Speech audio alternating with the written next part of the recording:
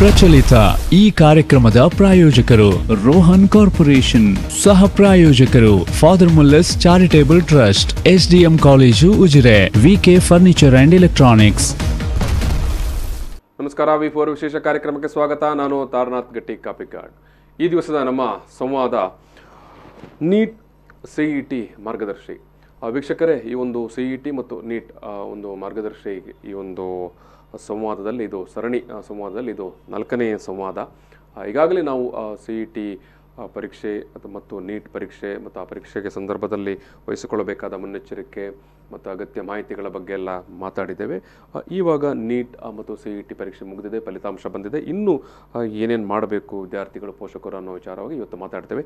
ಈ ಸಂದರ್ಭದಲ್ಲಿ ನಮ್ಮ ಜೊತೆಗೆ ಮಂಗಳೂರಿನ ಕರಿಯರ್ ಗೈಡೆನ್ಸ್ ಆ್ಯಂಡ್ ಇನ್ಫಾರ್ಮೇಷನ್ ಸೆಂಟರ್ನ ಅಧ್ಯಕ್ಷರಾಗಿರುವಂಥ ಉಮರ್ ಯು ಎಚ್ ಅವರಿದ್ದಾರೆ. ನಾನು ಪ್ರೀತಿಯಿಂದ ಉಮರ್ ಯು ಎಚ್ ಅವರನ್ನು ಈ ಒಂದು ಶೋಗೆ ಸ್ವಾಗತ ಮಾಡ್ತಾ ಇದ್ದೇನೆ ಉಮರ್ ಅವರೇ. ಎಸ್ ಎಸ್ ಎಸ್ ಎಸ್ ವೀಕ್ಷಕರೇ, ಉಮರ್ ಯು ಎಚ್ ಅವರು ಏನು ಸಿ ಇ ಟಿ ಬಗ್ಗೆ ಮತ್ತು ನೀಟ್ ಬಗ್ಗೆ ನೀಡಿರುವಂಥ ಅನೇಕ ಮಾಹಿತಿಗಳನ್ನು ಅಥವಾ ಏನು ನಾವು ಹಮ್ಮಿಕೊಂಡಂಥ ಸರಣಿ ಕಾರ್ಯಕ್ರಮಗಳನ್ನು ನೀವು ಈಗಾಗಲೇ ನೋಡಿರ್ತೀರಿ ಕರಾವಳಿ ಮಟ್ಟಿಗೆ ಅಥವಾ ಕರ್ನಾಟಕದಲ್ಲೇ ಸಿ ಇ ಟಿ ಬಗ್ಗೆ ಮತ್ತು ನೀಟ್ ಬಗ್ಗೆ ಅತ್ಯಂತ ನಿಖರವಾಗಿ ಮತ್ತು ಅತ್ಯಂತ ಸ್ಪಷ್ಟವಾಗಿ ಈ ಒಂದು ಮಾಹಿತಿಯನ್ನು ನೀಡಬಹುದಾದಂಥ ಒಬ್ಬ ಎಕ್ಸ್ಪರ್ಟ್ ಅಂತ ಹೇಳಿದರೆ ಅದು ಉಮರ್ ಯು ಎಚ್ ಅವರು. ನಮ್ಮಲ್ಲಿ ಸಿ ಇ ಟಿ ಬಗ್ಗೆ ಅಥವಾ ನೀಟ್ ಬಗ್ಗೆ ತರಬೇತಿ ಕೊಡುವಂಥ ಕೋಚಿಂಗ್ ಪಡುವಂಥ ಕೊಡುವಂಥ ನೂರಾರು ಸಂಸ್ಥೆಗಳಿರ್ಬೋದು.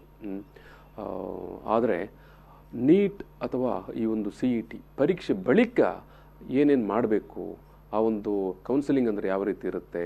ಅಥವಾ ಆನ್ಲೈನ್ ಕೌನ್ಸಿಲಿಂಗ್ ಅಥವಾ ಆನ್ಲೈನ್ನಲ್ಲಿ ಈ ಒಂದು ಡಾಕ್ಯುಮೆಂಟ್ಗಳನ್ನು ಸಬ್ಮಿಟ್ ಮಾಡುವುದು ಮತ್ತು ಯಾವ ಯಾವ ಹಂತದಲ್ಲಿ ಏನೇನು ಮಾಡಬೇಕು ಅನ್ನುವ ಬಗ್ಗೆ ಯಾವ ಕೋಚಿಂಗ್ ಸೆಂಟರ್ನಲ್ಲಿ ಕೂಡ ಮಾಹಿತಿ ಇಲ್ಲ ಮತ್ತು ಯಾವ ಶಾಲಾ ಕಾಲೇಜಿನಲ್ಲಿ ಕೂಡ ಮಾಹಿತಿ ಇಲ್ಲ. ಮಂಗಳೂರಿನ ಮಟ್ಟಿಗೆ ಅಂಥ ಒಂದು ಮಾಹಿತಿಯನ್ನು ನಿಮಗೆ ಸ್ಪಷ್ಟವಾದ ಮತ್ತು ನೈಜ ಸ್ವರೂಪದ ಮಾಹಿತಿ ಬೇಕಂತ ಇದ್ದರೆ ಅದು ಉಮರ್ ಯು ಎಚ್ ಅವರ ಹತ್ರ ಮಾತ್ರ ಸಿಗುವಂಥದ್ದು. ಇದಕ್ಕೆ ನಾವು ಏನು ನಾನು ಯಾವುದೇ ಆ, ಚರ್ಚೆಗೆ ಕೂಡ ಸಿದ್ಧ ಇರ್ತೇನೆ ಬೇರೆ ಯಾರಾದರೂ ತಕರಾರು ಮಾಡಿದರೆ ಇಲ್ಲ ನಮ್ಮಲ್ಲಿ ಅವರಿಗಿಂತ ಹೆಚ್ಚು ಮಾಹಿತಿ ಇದೆ ಅಂತ ಹೇಳಿದರೆ ಇದು ತಕರಾರು ಅಂತಲ್ಲ ಇದು ನಾನು ವಿದ್ಯಾರ್ಥಿಗಳನ್ನು ಮತ್ತು ಪೋಷಕರನ್ನು ಅಲರ್ಟ್ ಮಾಡುವಂಥದ್ದು. ಯಾಕಂತೇಳಿದರೆ ಬಹುತೇಕ ಸಂದರ್ಭದಲ್ಲಿ ನಮ್ಮ ಪೋಷಕರು ಮತ್ತು ವಿದ್ಯಾರ್ಥಿಗಳು ಎಲ್ಲೆಲ್ಲಿಂದಲೋ ಅರ್ಧಂಬರ್ಧ ಮಾಹಿತಿಗಳನ್ನು ಪಡ್ಕೊಂಡು ಎಷ್ಟು ಸಾಕಷ್ಟು ಎಡವಟ್ಟುಗಳನ್ನು ಮಾಡ್ತಾರೆ. ಸೊ ಹಾಗಾಗಿ ಈ ಶೋವನ್ನು ನೀವು ನಿರಂತರವಾಗಿ ನೋಡ್ತಾ ಇರಿ. ಫೇಸ್ಬುಕ್ಕಲ್ಲಿ ಕೂಡ ಲಭ್ಯ ಇರುತ್ತೆ. ಆಮೇಲೆ ನಾಳೆ ಯೂಟ್ಯೂಬಲ್ಲಿ ಕೂಡ ಲಭ್ಯ ಇರುತ್ತೆ. ನೀವು ಮತ್ತೆ ಮತ್ತೆ ಈ ಶೋವನ್ನು ನೋಡ್ಬೋದು. ನಿಮಗೆ ಬೇಕಾದಂಥ ಏನು ಮಾಹಿತಿಗಳನ್ನು ನೀವು ಈ ಒಂದು ಸಂದರ್ಭದಲ್ಲಿ ಪಡೆಯಬಹುದು. ಮತ್ತು ನಾನು ಉಮರ್ ಯು ಎಚ್ ಅವರ ಮೊಬೈಲ್ ನಂಬರನ್ನು ಆರಂಭದಲ್ಲಿ ಹೇಳಿರ್ತೇನೆ. ನೀವು ನೋಟ್ ಮಾಡಿಕೊಂಡಿರಿ. ಉಮರ್ ಯು ಎಚ್ ಅವರ ಮೊಬೈಲ್ ಸಂಖ್ಯೆ nine eight four five zero nine eight four five zero five four one nine one five four one nine one nine eight four five zero five four one nine one ಈ ಸಂಖ್ಯೆಗೆ ನೀವು ನಾಳೆ any time call ಮಾಡ್ಬೋದು. ಯಾಕಂತ ಹೇಳಿದ್ರೆ ಅವರು, ಅವರ information ಸೆಂಟರಲ್ಲಿ ಅವರು ನಿರಂತರವಾಗಿ ಇಂಥ ಒಂದು ಮಾಹಿತಿಯನ್ನು ನೀಡ್ತಾ ಇರ್ತಾರೆ. ಈಗ ಉಮರ್ ಯು ಎಚ್ ಅವರೇ, ನಾವೀಗ ಮಾತನಾಡಬೇಕಾದ ಏನು ನೀ ನೀಟ್ ಮತ್ತು ಸಿ ಇ ಟಿ ಕೌನ್ಸಿಲಿಂಗಿನ ವಿಚಾರಗಳ ಬಗ್ಗೆ ಈಗ ಮೊದಲಾಗಿ, ಬಹುಶಃ ಎಲ್ಲಿಂದ ಆರಂಭಿಸು ಅನ್ನೋದನ್ನು ಕೂಡ ನೀವೇ ಹೇಳಬೇಕು. ಯಾವ ವಿಚಾರವನ್ನು ಇಟ್ಕೊಂಡು ನಾವು ಆರಂಭ ಮಾತನಾಡುವ ಅಂತ ಅಂದರೆ ಈಗ ಈ ಹೊತ್ತಿನಲ್ಲಿ ಈ ಕ್ಷಣದಲ್ಲಿ ನೀಟ್ ಅಭ್ಯರ್ಥಿಗಳಿಗೆ ಏನೇನು ಮಾಹಿತಿಗಳು ಬೇಕಾಗಿದೆ? ಒಂದು ನಿಮ್ಮ ಮಾತಿನಿಂದಲೇ ಆರಂಭಿಸೋದಿದ್ರೆ ಆ, ಆ, ಎಡವಟ್ಟಿನಿಂದಲೇ ಆರಂಭಿಸ. ಎಸ್ ಇವಾಗ ನಾನಿಲ್ಲಿ ರಿಪೋರ್ಟ್ ಸ್ಟುಡಿಯೋಗೆ ಬರುವ ಮೊದಲು ಒಂದು ಕಾಲ್ ಅಟೆಂಡ್ ಮಾಡಿ ಬಂದೆ. ಎಂತ ಎಡವಟ್ಟು ಮಾಡಿದ್ದಾರೆ ಅಂತ ಹೇಳಿದ್ರೆ ಆಕ್ಚುಲಿ ಅವರ eligibility class A okay student seven years ಕರ್ನಾಟಕದಲ್ಲಿ ತಂದ್ರೆ ಎ.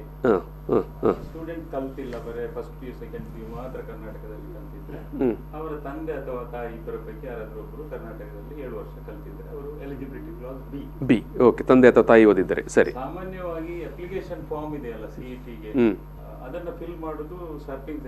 ಹ್ಞೂ ಹೌದು. ಮೊಬೈಲ್ ಎಲ್ಲಿ ಎಲ್ಲಿ ಇಂಟರ್ನೆಟ್ ಸೆಂಟರ್ ಇರುತ್ತೆ ಅಲ್ಲಿ ಹೋಗಿ ಮಾಡ್ತಾರೆ. ಹೌದು. ಅಲ್ಲಿರುವ ವ್ಯಕ್ತಿಯ ಸಮಸ್ಯೆ ಏನು ಅಂತ ಹೇಳಿದ್ರೆ ಆ ವ್ಯಕ್ತಿಗೆ ಬಹುತೇಕ ಸರ್ಫಿಂಗ್ ಸೆಂಟರ್ ನಲ್ಲಿರುವವರಿಗೆ ಸಿ ಟಿ ಅಂದ್ರೆ ಏನು ಅಂತ ಗೊತ್ತಿಲ್ಲ ಖಂಡಿತ ಗೊತ್ತಿರೋದಿಲ್ಲ ಖಂಡಿತ ಗೊತ್ತಿರೋದಿಲ್ಲ ಹೌದು ಹೌದು ಹೌದು. ಅಲ್ಲಿ ಹೋಗಿ ಅವರು ಅಪ್ಲಿಕೇಶನ್ ಫಿಲ್ ಮಾಡ್ತಾರೆ. ನಾನು ಬಿಫೋರ್ ಎಲ್ಲ ನೋಡುಗರಿಗೆ ಸಿನ್ಸಿಯರ್ಲಿ ರಿಕ್ವೆಸ್ಟ್ ಮಾಡುದು. ನಿಮ್ಮ ನೆಕ್ಸ್ಟ್ ಇಯರ್ ಸಿ ಟಿ ಬರೆಯುವವರು ತುಂಬಾ ಮಂದಿ ನಿಮ್ಮ ಮನೆಯಲ್ಲಿ ಇರಬಹುದು ಕುಟುಂಬದಲ್ಲಿ ಇರಬಹುದು ಪರಿಸರದಲ್ಲಿ ಹೌದು. ಸೊ ಯಾರು ಕೂಡ ಸರ್ಫಿಂಗ್ ಸೆಂಟರ್ಗೆ ಹೋಗಿ ಅಪ್ಲಿಕೇಶನ್ ಫಿಲ್ ಮಾಡಬೇಕಾದಂತ ಅವಶ್ಯಕತೆನೇ ಇಲ್ಲ. ಇಲ್ಲ. ಕೈಯಲ್ಲಿ ಆಂಡ್ರಾಯ್ಡ್ ಮೊಬೈಲ್ ಇದೆ. ಹೌದು. ಎಲ್ಲರ ಹತ್ರ ಎಲ್ಲ ಹತ್ರ ಒಬ್ಬರ ಕೈಯಲ್ಲಿ ಮೊಬೈಲ್ ಇದ್ದೇ ಇರುತ್ತೆ. ಹೌದು. ಆ, ಮಕ್ಕಳಿಗೆ ಸೆಕೆಂಡ್ ಯು ಮಕ್ಕಳಿಗೆ ಮೊಬೈಲ್ ಕೊಡಬಾರ್ದು ಅಂತ ಹೇಳುವಾಗ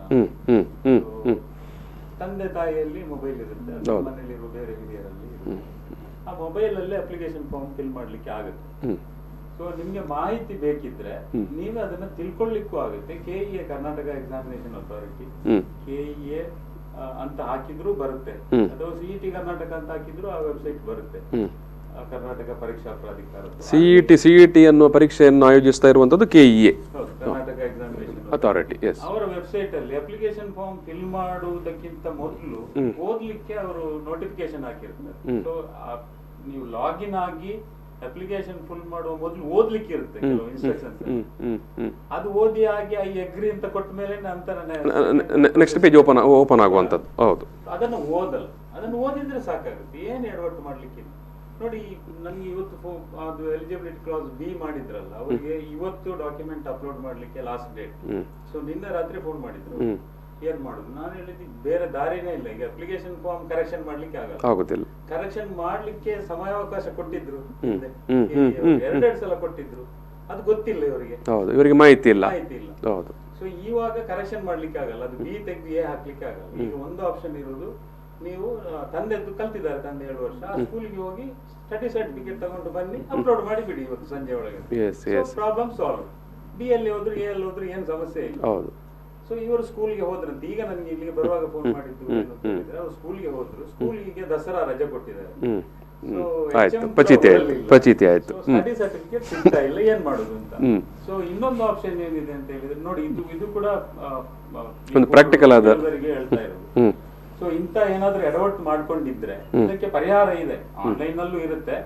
ಆನ್ಲೈನ್ನಲ್ಲಿ ಆಗಲ್ಲ ಅಂತಿದ್ರೆ ಡೈರೆಕ್ಟ್. ಕೆಇ ಆಫೀಸಿಗೆ ಹೋಗ್ಬೇಕು. ಒಂದು ರಿಕ್ವೆಸ್ಟ್ ಲೆಟರ್ ಡೈರೆಕ್ಟರ್ಗೆ ಮಾಡಿಕೊಂಡು ಅಂದ್ರೆ ಇಂತ ಎಡವಟ್ಟು ಆಗಿದೆ ದಯವಿಟ್ಟು ಇದನ್ನ ಸರಿ ಮಾಡಿ ಕೊಡಿ ಅಂತ ನಾನು ಅವರಿಗೆ ಅದನ್ನೇ ಹೇಳಿದ್ದೆ. ಆಕ್ಚುಲಿ ನಾವು eligibility class A mistake B hockey B ಹಾಕಿದ್ದೇವೆ ಇದನ್ನ ನಮ್ಗೆ ಎ ಮಾಡಿ ಕೊಡ್ಬೇಕು ಅಂತ. ಈಗ ಬಿ ಇದ್ದು ಸರ್ಟಿಫಿಕೇಟ್ ಸಿಗ್ತಾ ಇಲ್ಲ. ರಿಕ್ವೆಸ್ಟ್ ಮಾಡಿದ್ರೆ ಖಂಡಿತ ಅವರು ಅಕ್ಸೆಪ್ಟ್ ಮಾಡ್ತಾರೆ ಅದನ್ನ ಅಪ್ಲಿಕೇಶನ್ ಅವರು ಅದಕ್ಕೆ ನೋಟ್ ಬರೆದು ಕೊಡ್ತಾರೆ. ಕೆಳಗಡೆ ಕಂಪ್ಯೂಟರ್ ಸೆಕ್ಷನ್ ಹೋಗಿ ಅಂತ. ಅಲ್ಲಿ ಕಂಪ್ಯೂಟರ್ ಸೆಕ್ಷನ್ ಅಲ್ಲಿ ನಮ್ಮ ಅಪ್ಲಿಕೇಶನ್ ಫಾರ್ಮ್ ಓಪನ್ ಮಾಡ್ಲಿಕ್ಕೆ ಆಗುತ್ತೆ ಅವರಿಗೆ. ನಮಗೆ ಆಗಲ್ಲ. ಅವರಿಗೆ ಆಗುತ್ತೆ. ಎಸ್ ಎಸ್ ಎಸ್ ಓಪನ್ ಮಾಡ್ತಾರೆ ಅದನ್ನ ಎ ಅಂತ ಹಾಕಿ ಬಿಡ್ತಾರೆ. ಅಲ್ಲಿ ಪ್ರಾಬ್ಲಮ್ ಸಾಲ್ವ್ ಆಗುತ್ತೆ ಅಂತ. ಸೊ ಇಂಥ ಎಡವಟ್ಟುಗಳೆಲ್ಲ ಇದ್ರೆ ಈಗ ಆನ್ಲೈನ್ ಅಲ್ಲಿ ಮಾಡ್ಲಿಕ್ಕೆಲ್ಲ ಅವಕಾಶ ಕೊಟ್ಟಿರ್ತಾರೆ ಕರೆಕ್ಷನ್ ಮಾಡ್ಲಿಕ್ಕೆ ಅಂತ. ಅದೆಲ್ಲ ಆವಾಗ ನಾವು ಮಾಡದಿದ್ದೆ ಮಾಡ್- ಮಾಡದಿದ್ದರೆ ಇಂಥ ಎಡವಟ್ಟುಗಳು ಇದೆ ಅಂತ ಒಂದೇ ಆಪ್ಷನ್ ಇರುತ್ತೆ. ಬೆಂಗಳೂರಿಗೆ ಹೋಗುದು. ಎ ಆಫೀಸಿಗೆ ಮಲ್ಲೇಶ್ವರಂ ಏಟೀನ್ ಕ್ರಾಸ್ ಅಲ್ಲಿ ಇದೆ. ಅಲ್ಲಿಗೆ ಹೋಗಿ ಅಲ್ಲಿ ರಿಕ್ವೆಸ್ಟ್ ಲೆಟರ್ ಕೊಟ್ಟು ಸರಿ ಮಾಡ್ಕೊಂಡು ಬರುದು ಓಕೆ ಓಕೆ ಸೊ ಇವಾಗ ನೀವು ಹೇಳಿದ ಹಾಗೆ ಮೆಡಿಕಲ್ ಸೀಟ್ ಇದ್ದು ಕೌನ್ಸಿಲಿಂಗ್ ಶುರು ಆಗಿದೆ. ಹೌದು. ಇಂದ. ಎಂ ಸಿ ಸಿಯಿಂದ ಮೆಡಿಕಲ್ ಕೌನ್ಸಿಲಿಂಗ್ ಕಮಿಟಿಯಿಂದ ಸೊ ಈ ಎಂ ಸಿ ಸಿ ಅವರು ಏನೆಲ್ಲ ಏನು ಸೀಟುಗಳನ್ನು ಹಂಚಿಕೆ ಮಾಡ್ತಾರೆ ಮತ್ತು ಅವರ ಸೀಟುಗಳಿಗೆ ಯಾರೆಲ್ಲ ಅಪ್ಲೈ ಮಾಡಬೇಕು ಏನು ಆ, ವಿಚಾರವಾಗಿ ಮಾತಾಡೋದು. ಒಂದು ಅವರು ನೋಟಿಫಿಕೇಶನ್ ಹಾಕಿದ್ರು. ಆಕ್ಚುಲಿ ಇವತ್ತು ಟ್ವೆಂಟಿ ಸೆವೆಂತ್ ಇಂದ ಫಸ್ಟ್ ರೌಂಡ್ಗೆ ರಿಜಿಸ್ಟ್ರೇಷನ್ ಶುರು ಮಾಡ್ತೀವಿ. ಬಟ್ ಇವತ್ತು ಸಾಯಂಕಾಲ ಅವರು ಪುನಃ ನೋಟಿಫಿಕೇಶನ್ ಹಾಕಿದ್ರು. ಅದನ್ನ ನಾಳೆಗೆ ಟೆಕ್ನಿಕಲ್ ರೀಸನ್ಗಾಗಿ ಇವತ್ತು ಮಾಡ್ಲಿಕ್ಕೆ ಆಗ್ತಾ ಇಲ್ಲ. ಸೊ ನಾಳೆಯಿಂದ ಶುರು ಮಾಡ್ತೀವಿ. ಸಾಮಾನ್ಯವಾಗಿ ಎಂ ಸಿ ಸಿ ಅಲ್ಲಿ ಯಾರು ರಿಜಿಸ್ಟ್ರೇಷನ್ ಮಾಡ್ತಾರೆ ಅಂತ ಹೇಳಿದ್ರೆ ಹೌದು ಅದು ಅದು ತುಂಬ ಅದು ತುಂಬ ಇಂಪಾರ್ಟೆಂಟ್ ಎಂ ಸಿ ಸಿಯಲ್ಲಿ ಯಾರಿಗೆ ಸೀಟು ಏನು ಸೀಟು ಎಷ್ಟು ಸೀಟ್ ಅಂತ? ಆಲ್ ಇಂಡಿಯಾ ಕೋಟಾದ ಸೀಟ್ಗಳು. ಅಂದ್ರೆ ಕರ್ನಾಟಕ ರಾಜ್ಯ ಮಾತ್ರ ಅಲ್ಲ ಈ ದೇಶದಲ್ಲಿರುವ ಎಲ್ಲ ಸರ್ಕಾರಿ ವೈದ್ಯಕೀಯ ಕಾಲೇಜ್ ಅಂದ್ರೆ ಗವರ್ಮೆಂಟ್ ಮೆಡಿಕಲ್ ಕಾಲೇಜ್ ಮತ್ತು ಗವರ್ಮೆಂಟ್ ಡೆಂಟಲ್ ಕಾಲೇಜಸ್ ಅಲ್ಲಿ ಏನ್ ಸೀಟ್ಸ್ ಇದಾರೆ? ಅಂದ್ರೆ ಟೋಟಲ್ ಇಂಟೇಕ್ ಅವ್ರದ್ದು ಏನಿದೆ? ಈಗ ಫಾರ್ ಎಕ್ಸಾಂಪಲ್ ಕಾರವಾರ ಸರ್ಕಾರಿ ಮೆಡಿಕಲ್ ಕಾಲೇಜ್ ಇದೆ. ಹೌದು. ಅಲ್ಲಿ ನೂರು ಇಂಟೇಕ್ ಅವರು. ಅದರಲ್ಲಿ ಹದಿನೈದು ಶೇಕಡ ಅಂದ್ರೆ ಹದಿನೈದು seat all India quota seats ಹದಿನೈದು ಸಿಟಿ ಅಂಶ ಸಿಗೆ ಹೋಗುತ್ತೆ. ಸೊ ಈ ರೀತಿ ಎಲ್ಲ ಇಡೀ ದೇಶದಲ್ಲಿರುವ ಎಲ್ಲ ಮೆಡಿಕಲ್ ಕಾಲೇಜ್ ಎಲ್ಲ ಸರ್ಕಾರಿ ಮೆಡಿಕಲ್ ಕಾಲೇಜಿನ ಗೌರ್ಮೆಂಟ್ ಸರ್ಕಾರಿ ಹ್ಮ್ ಹೌದು. ಪ್ರೈವೇಟ್ ಇದ್ದಲ್ಲ. ಪ್ರೈವೇಟದಲ್ಲ ಹೌದು ಹ್ಮ್. ಅದು ಮೆಡಿಕಲ್ ಕೌನ್ಸಿಲಿಂಗ್ ಕಮಿಟಿಗೆ ಹೋಗುತ್ತೆ. ಇದಲ್ಲದೆ ಸೆಂಟ್ರಲ್ ಯೂನಿವರ್ಸಿಟೀಸ್ ಇದೆ. ಈಗ ಬನಾರಸ್ ಹಿಂದೂ ಯೂನಿವರ್ಸಿಟಿ ಇರ್ಬೋದು ಅಲಿಗಢ್ ಮುಸ್ಲಿಂ ಯೂನಿವರ್ಸಿಟಿ ಇರ್ಬೋದು ಜಾಮಿಯಾ ಮಿಲಿಯಾ ಇರ್ಬೋದು ಯೂನಿವರ್ಸಿಟಿ ಸೆಂಟ್ರಲ್ ಯೂನಿವರ್ಸಿಟಿ ಹೌದು ಹೌದು ಹೌದು ಹೌದು. ಅದು ಕೇಂದ್ರೀಯ ವಿಶ್ವವಿದ್ಯಾನಿಲಯ ಅಂತ. ಹೌದು. ಅಲ್ಲಿರುವ ಎಲ್ಲ ಸೀಟ್ಸ್ ಎಂಟೈರ್ ಸೀಟ್ಸ್ ಅದೆಲ್ಲವೂ ಗೌರ್ಮೆಂಟ್ ಸೀಟ್ಸ್ ಅದು ಎಂ ಸಿ ಸಿಗೆ ಹ್ಮ್ ಹ್ಮ್. ಮತ್ತು ಇಡೀ ದೇಶದಲ್ಲಿರುವ ಎಲ್ಲ deemed university okay okay deemed universities ಅಂದ್ರೆ ಈಗ ಮಂಗಳೂರು ಕರಾವಳಿ ಭಾಗದವ್ರಿಗೆ ಹೇಳುದಿದ್ರೆ ಇಲ್ಲಿ ಕೆ ಎಂ ಸಿ. ನಿಟ್ಟೆ. ಹೌದು. ಇದು ಇಂತ ಡೀಮ್ಡ್ ಯೂನಿವರ್ಸಿಟಿಗಳು ಕರ್ನಾಟಕ ರಾಜ್ಯದಲ್ಲಿರುವ ಮತ್ತೆ ಎಲ್ಲ ದೇಶದ ಎಲ್ಲ ರಾಜ್ಯಗಳಲ್ಲಿರುವ ಡೀಮ್ಡ್ ಯೂನಿವರ್ಸಿಟಿಗಳ ಗವರ್ಮೆಂಟ್ ಕೊಟ್ಟ ಸೀಟ್ಸ್ ಅಲ್ಲ. ಗೌರ್ಮೆಂಟ್ ಗವರ್ಮೆಂಟ್ ಸೀಟ್ ಸೀಟ್ ಕೊಟ್ಟದ ಸೀಟ್ಗಳು ಆಯಾ ರಾಜ್ಯಕ್ಕೆ ಕೊಡ್ತಾರೆ. ಈಗ ಕರ್ನಾಟಕ ರಾಜ್ಯದ ಎಲ್ಲ ಡೀಮ್ಡ್ ಯೂನಿವರ್ಸಿಟಿಗಳ ಏನು? ಗೌರ್ಮೆಂಟ್ ಕೊಟ್ಟದ ಸೀಟ್ಗಳನ್ನು ಅವರು ಕೆಇಎಗೆ ಕೆಇಗೆ ಕೊಡ್ತಾರೆ. ಓಕೆ ಮ್ಯಾನೇಜ್ಮೆಂಟ್ ಸೀಟ್ ಏನಿದೆ? ಅದನ್ನ ಅವರು MCC ಗೆ ಕೊಡ್ತಾರೆ. ಮಾಡಿ ಸೀಟ್ ಅಲಾಟ್ಮೆಂಟ್ ಮಾಡಿ ಓಕೆ ಅಂದ್ರೆ ಅಂದ್ರೆ ಹಾಗಾದ್ರೆ ಎಂ ಸಿ ಸಿಗೆ ಒಂದು ಕಡೆಯಿಂದ ಏನು ಸರ್ಕಾರಿ ಕಾಲೇಜುಗಳಿಂದ ಸರ್ಕಾರಿ ಸೀಟುಗಳು ಬರುತ್ತೆ. ಹದಿನೈದು ಶೇಕಡ. ಹದಿನೈದು ಶೇಕಡ ಸೀಟು ಬರುತ್ತೆ. ಮತ್ತೆ ಏನು ನೀವು ಸೆಂಟ್ರಲ್ ಯೂನಿವರ್ಸಿಟಿ ಅದು. ಸೆಂಟ್ರಲ್ ಯೂನಿವರ್ಸಿಟಿಯಿಂದ ಪೂರ್ತಿ ಹಂಡ್ರೆಡ್ ಪರ್ಸೆಂಟ್ ಸೀಟುಗಳು ಬರುತ್ತೆ. ಮತ್ತು ಡೀಮ್ಡ್ ಯೂನಿವರ್ಸಿಟಿಗಳಿಂದ ಅವರದ್ದು ನಾನ್ ಏನು ಸರಕಾರಿ ಕೋಟ ಅಲ್ಲದ ಸೀಟುಗಳು. ಮ್ಯಾನೇಜ್ಮೆಂಟ್ ಮ್ಯಾನೇಜ್ಮೆಂಟ್ ಸೀಟ್ಗಳು ಬರುತ್ತೆ. ಓಕೆ ಓಕೆ ಮತ್ತು ಎಲ್ಲ ಸೀಟ್ಗಳಿಗೂ ಕೂಡ ಸೀಟ್ ಫೀಸ್ ಸ್ಟ್ರಕ್ಚರ್ ಬೇರೆ ಬೇರೆ ಇರುತ್ತೆ. ಓಕೆ ಓಕೆ ಓಕೆ ಓಕೆ ವೀಕ್ಷಕರೇ ವೀಕ್ಷಕರೇ ಗಮನಿಸಿ ಗಮನಿಸಿ. ಭಾರಿ ಭಾರಿ ಮುಖ್ಯವಾದ ವಿಚಾರ ಇದು. ಯಾಕಂತ ಹೇಳಿದ್ರೆ ಈಗ ಈಗಾಗಲೇ ಹೇಳಿದ್ರು ಎಂ ಸಿ ಸಿಗೆ ಬರುವಂಥ ಮೂರು ಹಂತದ ಸೀಟ್ಗಳು ಯಾವುದು ಅಂತ. ಇದು ನೀವು ಸ್ಪಷ್ಟವಾಗಿ ಗಮನಿಸಬೇಕು. ಮತ್ತು ಈಗ ನಾವು ಒಂದು ಸಣ್ಣ ಬ್ರೇಕ್ ತಗೊಳ್ತೇವೆ ಬ್ರೇಕ್ ನಂತರ ಈ ಮೂರು ಹಂತದ ಸೀಟ್ಗಳ ಫೀಸ್ ಸ್ಟ್ರಕ್ಚರ್ ಎಷ್ಟು? ಯಾರು ಅದಕ್ಕೆ ಅಪ್ಲೈ ಮಾಡಬೇಕು ಮತ್ತು ಆ ಸೀಟಿಗಾಗಿ ಯಾರು ಪ್ರಯತ್ನ ಮಾಡಬೇಕು ಅನ್ನೋ ವಿಚಾರವನ್ನು ಕೂಡ ನಾವು ಮಾತಾಡ್ತೇವೆ. ಈಗ ಒಂದು ಸಣ್ಣ ಬ್ರೇಕ್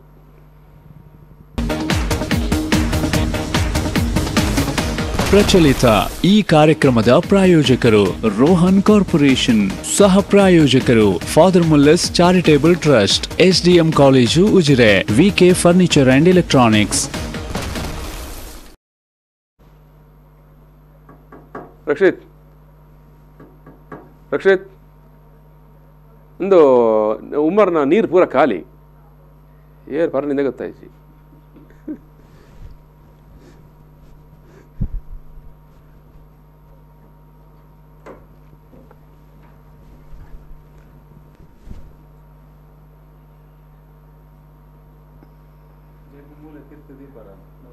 ಅಂದ. ಅಂದ ಅಂದ. ಅಂದ. ಒಂದು ಒಂದು ಚೂರು ಇಂಚಿ ಪಾಡ್ಲೆ ಎಂಕಲಂತೆ ಹಾಂ ಎಂಕಲ್ ಒಂಜಿ ಬೈದೆ ಹಾಂ ಒಂದು ಒಂದು ಲೈಟ್ ತಾನೆ ಇಂಚಿ ತಿರುಗದ ನೀನು ತಿರ್ಗಾಯ್ನ ಓಕೆ ನಾನು ತಾತದ ಮನೆ ತಿರುಗದನ ಅಂದ ಹ್ಞೂ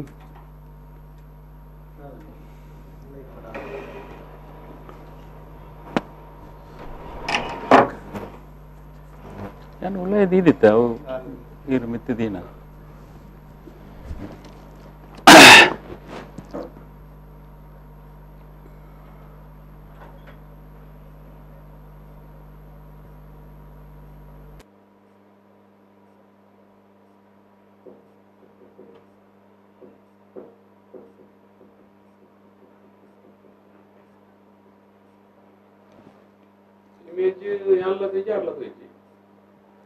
ನಾನು ವರ ತೂಯ ಬಟ್ ತೂತು ದಾದ ಅನ್ಪುಣೆ ನಾನು. ಐನು ಉಂತಾದ ನಮ್ಮ ಅಪುಂಡ ಅಪುಂಡ ಅಪ್ಪಗಂಡ ಆರ್ಡರ್ಡ್ ಉಂತಾದ ಪಂಡ್ಲೆ ನಾನು ಎಕ್ಸ್ಪ್ಲೈನ್ ಮಲ್ಪೆ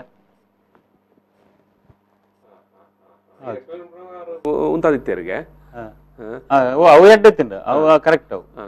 ಕರೆಕ್ಟ್ ಇತ್ತ ಇತ್ತ ಪಾತೆರ್ನಾಗ ഞാൻ ಎಕ್ಸ್ಪ್ಲೈನ್ ಮಲ್ಪೆರೆ ಸುರು ಮಲ್ಪೆ ಆರ್ಡರ್ಡ್ ಪಾಡ್ದಾರತ್ತೆ ಐನ್ ಒಂಜೊಂಜೆ ಪಾಡ್ಲಿ ಅವೇ ഞാൻ പണ്ണൊന്ന് പോണക അതിന് ഇത് സെക്കൻഡ് ಸ್ಲೈಡ್ ಥರ್ಡ್ ಸ್ಲೈಡ್ ಅಂಚೆ ಪಾಡೊಂದು ಪೋಣ ಎಸ್ ಅದೇ ನೀಟ್ ಆ, ಮತ್ತು ಸಿ ಇ ಟಿ ಮಾರ್ಗದರ್ಶಿ ಈ ಒಂದು ಸರಣಿ ಕಾರ್ಯಕ್ರಮ ಈ ಒಂದು ಸರಣಿ ಕಾರ್ಯಕ್ರಮದಲ್ಲಿ ನಾವು ಈಗಾಗಲೇ ಆ, ಅನೇಕ ಸಂದರ್ಭದಲ್ಲಿ ನೀಟ್ ಆ, ಮತ್ತು ಸಿ ಇ ಟಿ ಪರೀಕ್ಷೆ ಆ, ನಂತರ ಪರೀಕ್ಷೆಯ ಆ, ನಂತರದ ಆ, ಏನು ಕೌನ್ಸಿಲಿಂಗ್ ಅಥವಾ ಆನ್ಲೈನ್ ಡಾಕ್ಯುಮೆಂಟ್ ಸಬ್ಮಿಟೇಷನ್ ಸಬ್ಮಿಟ್ ಮಾಡುವಂಥ ವಿಚಾರವೆಲ್ಲ ಮಾತಾಡಿದ್ದೇವೆ ಇವತ್ತು ಆ, ಏನು, ಮತ್ತೆ ಏನು ನೀಟ್ ಮತ್ತು ಸಿ ಇ ಟಿ ಬಗ್ಗೆ ಮಾತಾಡ್ತಾ ಇದ್ದೇವೆ.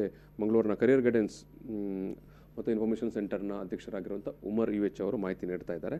ನಾವು ಬ್ರೇಕ್ಗಿಂತ ಮೊದಲು ಮಾತನಾಡುವ ಸಂದರ್ಭದಲ್ಲಿ ಏನು ಮೆಡಿಕಲ್ ಸೀಟ್ ಬಗ್ಗೆ, ಅದು ಕೂಡ M C C medical counselling committee ವಿತರಣೆ ಮಾಡುವಂಥ ಅಥವಾ ಹಂಚಿಕೆ ಮಾಡುವಂಥ ಮೂರು ವಿಧದ ಸೀಟ್ಗಳ ಬಗ್ಗೆ ಮಾತಾಡ್ತಾ ಇದ್ದೆವು.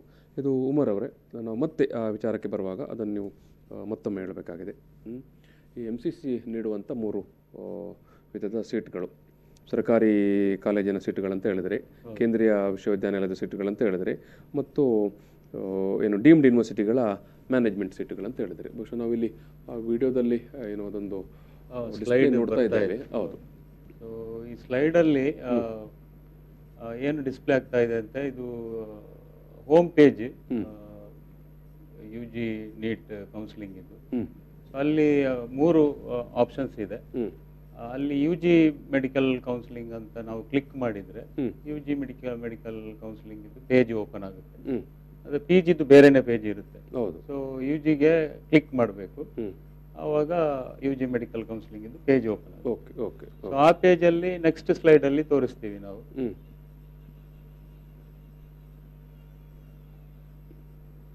ಎಸ್ ಎಸ್ ಅಲ್ಲಿ- ಹೋಗ್ಲಿ ನೆಕ್ಸ್ಟ್ ಸ್ಲೈಡ್ ನೆಕ್ಸ್ಟ್ ಸ್ಲೈಡ್ ಇದು ಬಂತು. ನೆಕ್ಸ್ಟ್ ಸ್ಲೈಡಲ್ಲಿ ಅದೇ ಮೆಡಿಕಲ್ ಕೌನ್ಸಿಲಿಂಗ್ ಕಮಿಟಿ ಅಂತ ಇದೆ ಅಲ್ಲ. ಸೊ ಅಲ್ಲಿ ಮೇಲೆ ತುಂಬಾ ಆಪ್ಷನ್ಸ್ ಇದೆ.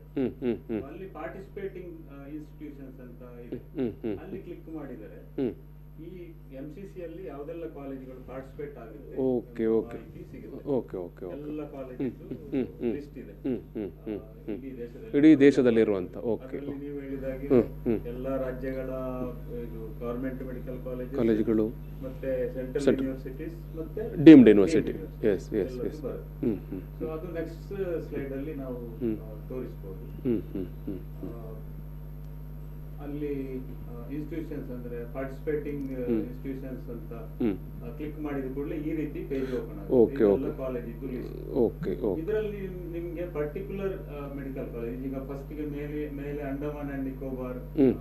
Medical college medical ಹೌದು ಹೌದು ಹೌದು ಅದರಲ್ಲಿ ವ್ಯೂ ಅಂತ ಇದೆ ನೆಕ್ಸ್ಟ್ ಕಾಲಮ್ ಅಲ್ಲಿ ಬಾಂಡ್ ಶೋ ಬಾಂಡ್ ಅಂತ ಇದೆ ಸೋ ವ್ಯೂಗೆ ಕ್ಲಿಕ್ ಮಾಡಿದ್ರೆ ನಿಮ್ಗೆ ಆ ಕಾಲೇಜಿದ್ದು fee structure okay okay okay okay yes yes so ವ್ಯೂಗೆ click ಮಾಡಬೇಕು. ಅದು ನೆಕ್ಸ್ಟ್ ಸ್ಲೈಡ್ ಅಲ್ಲಿ ನಾವು ತೋರಿಸ್ತೀವಿ.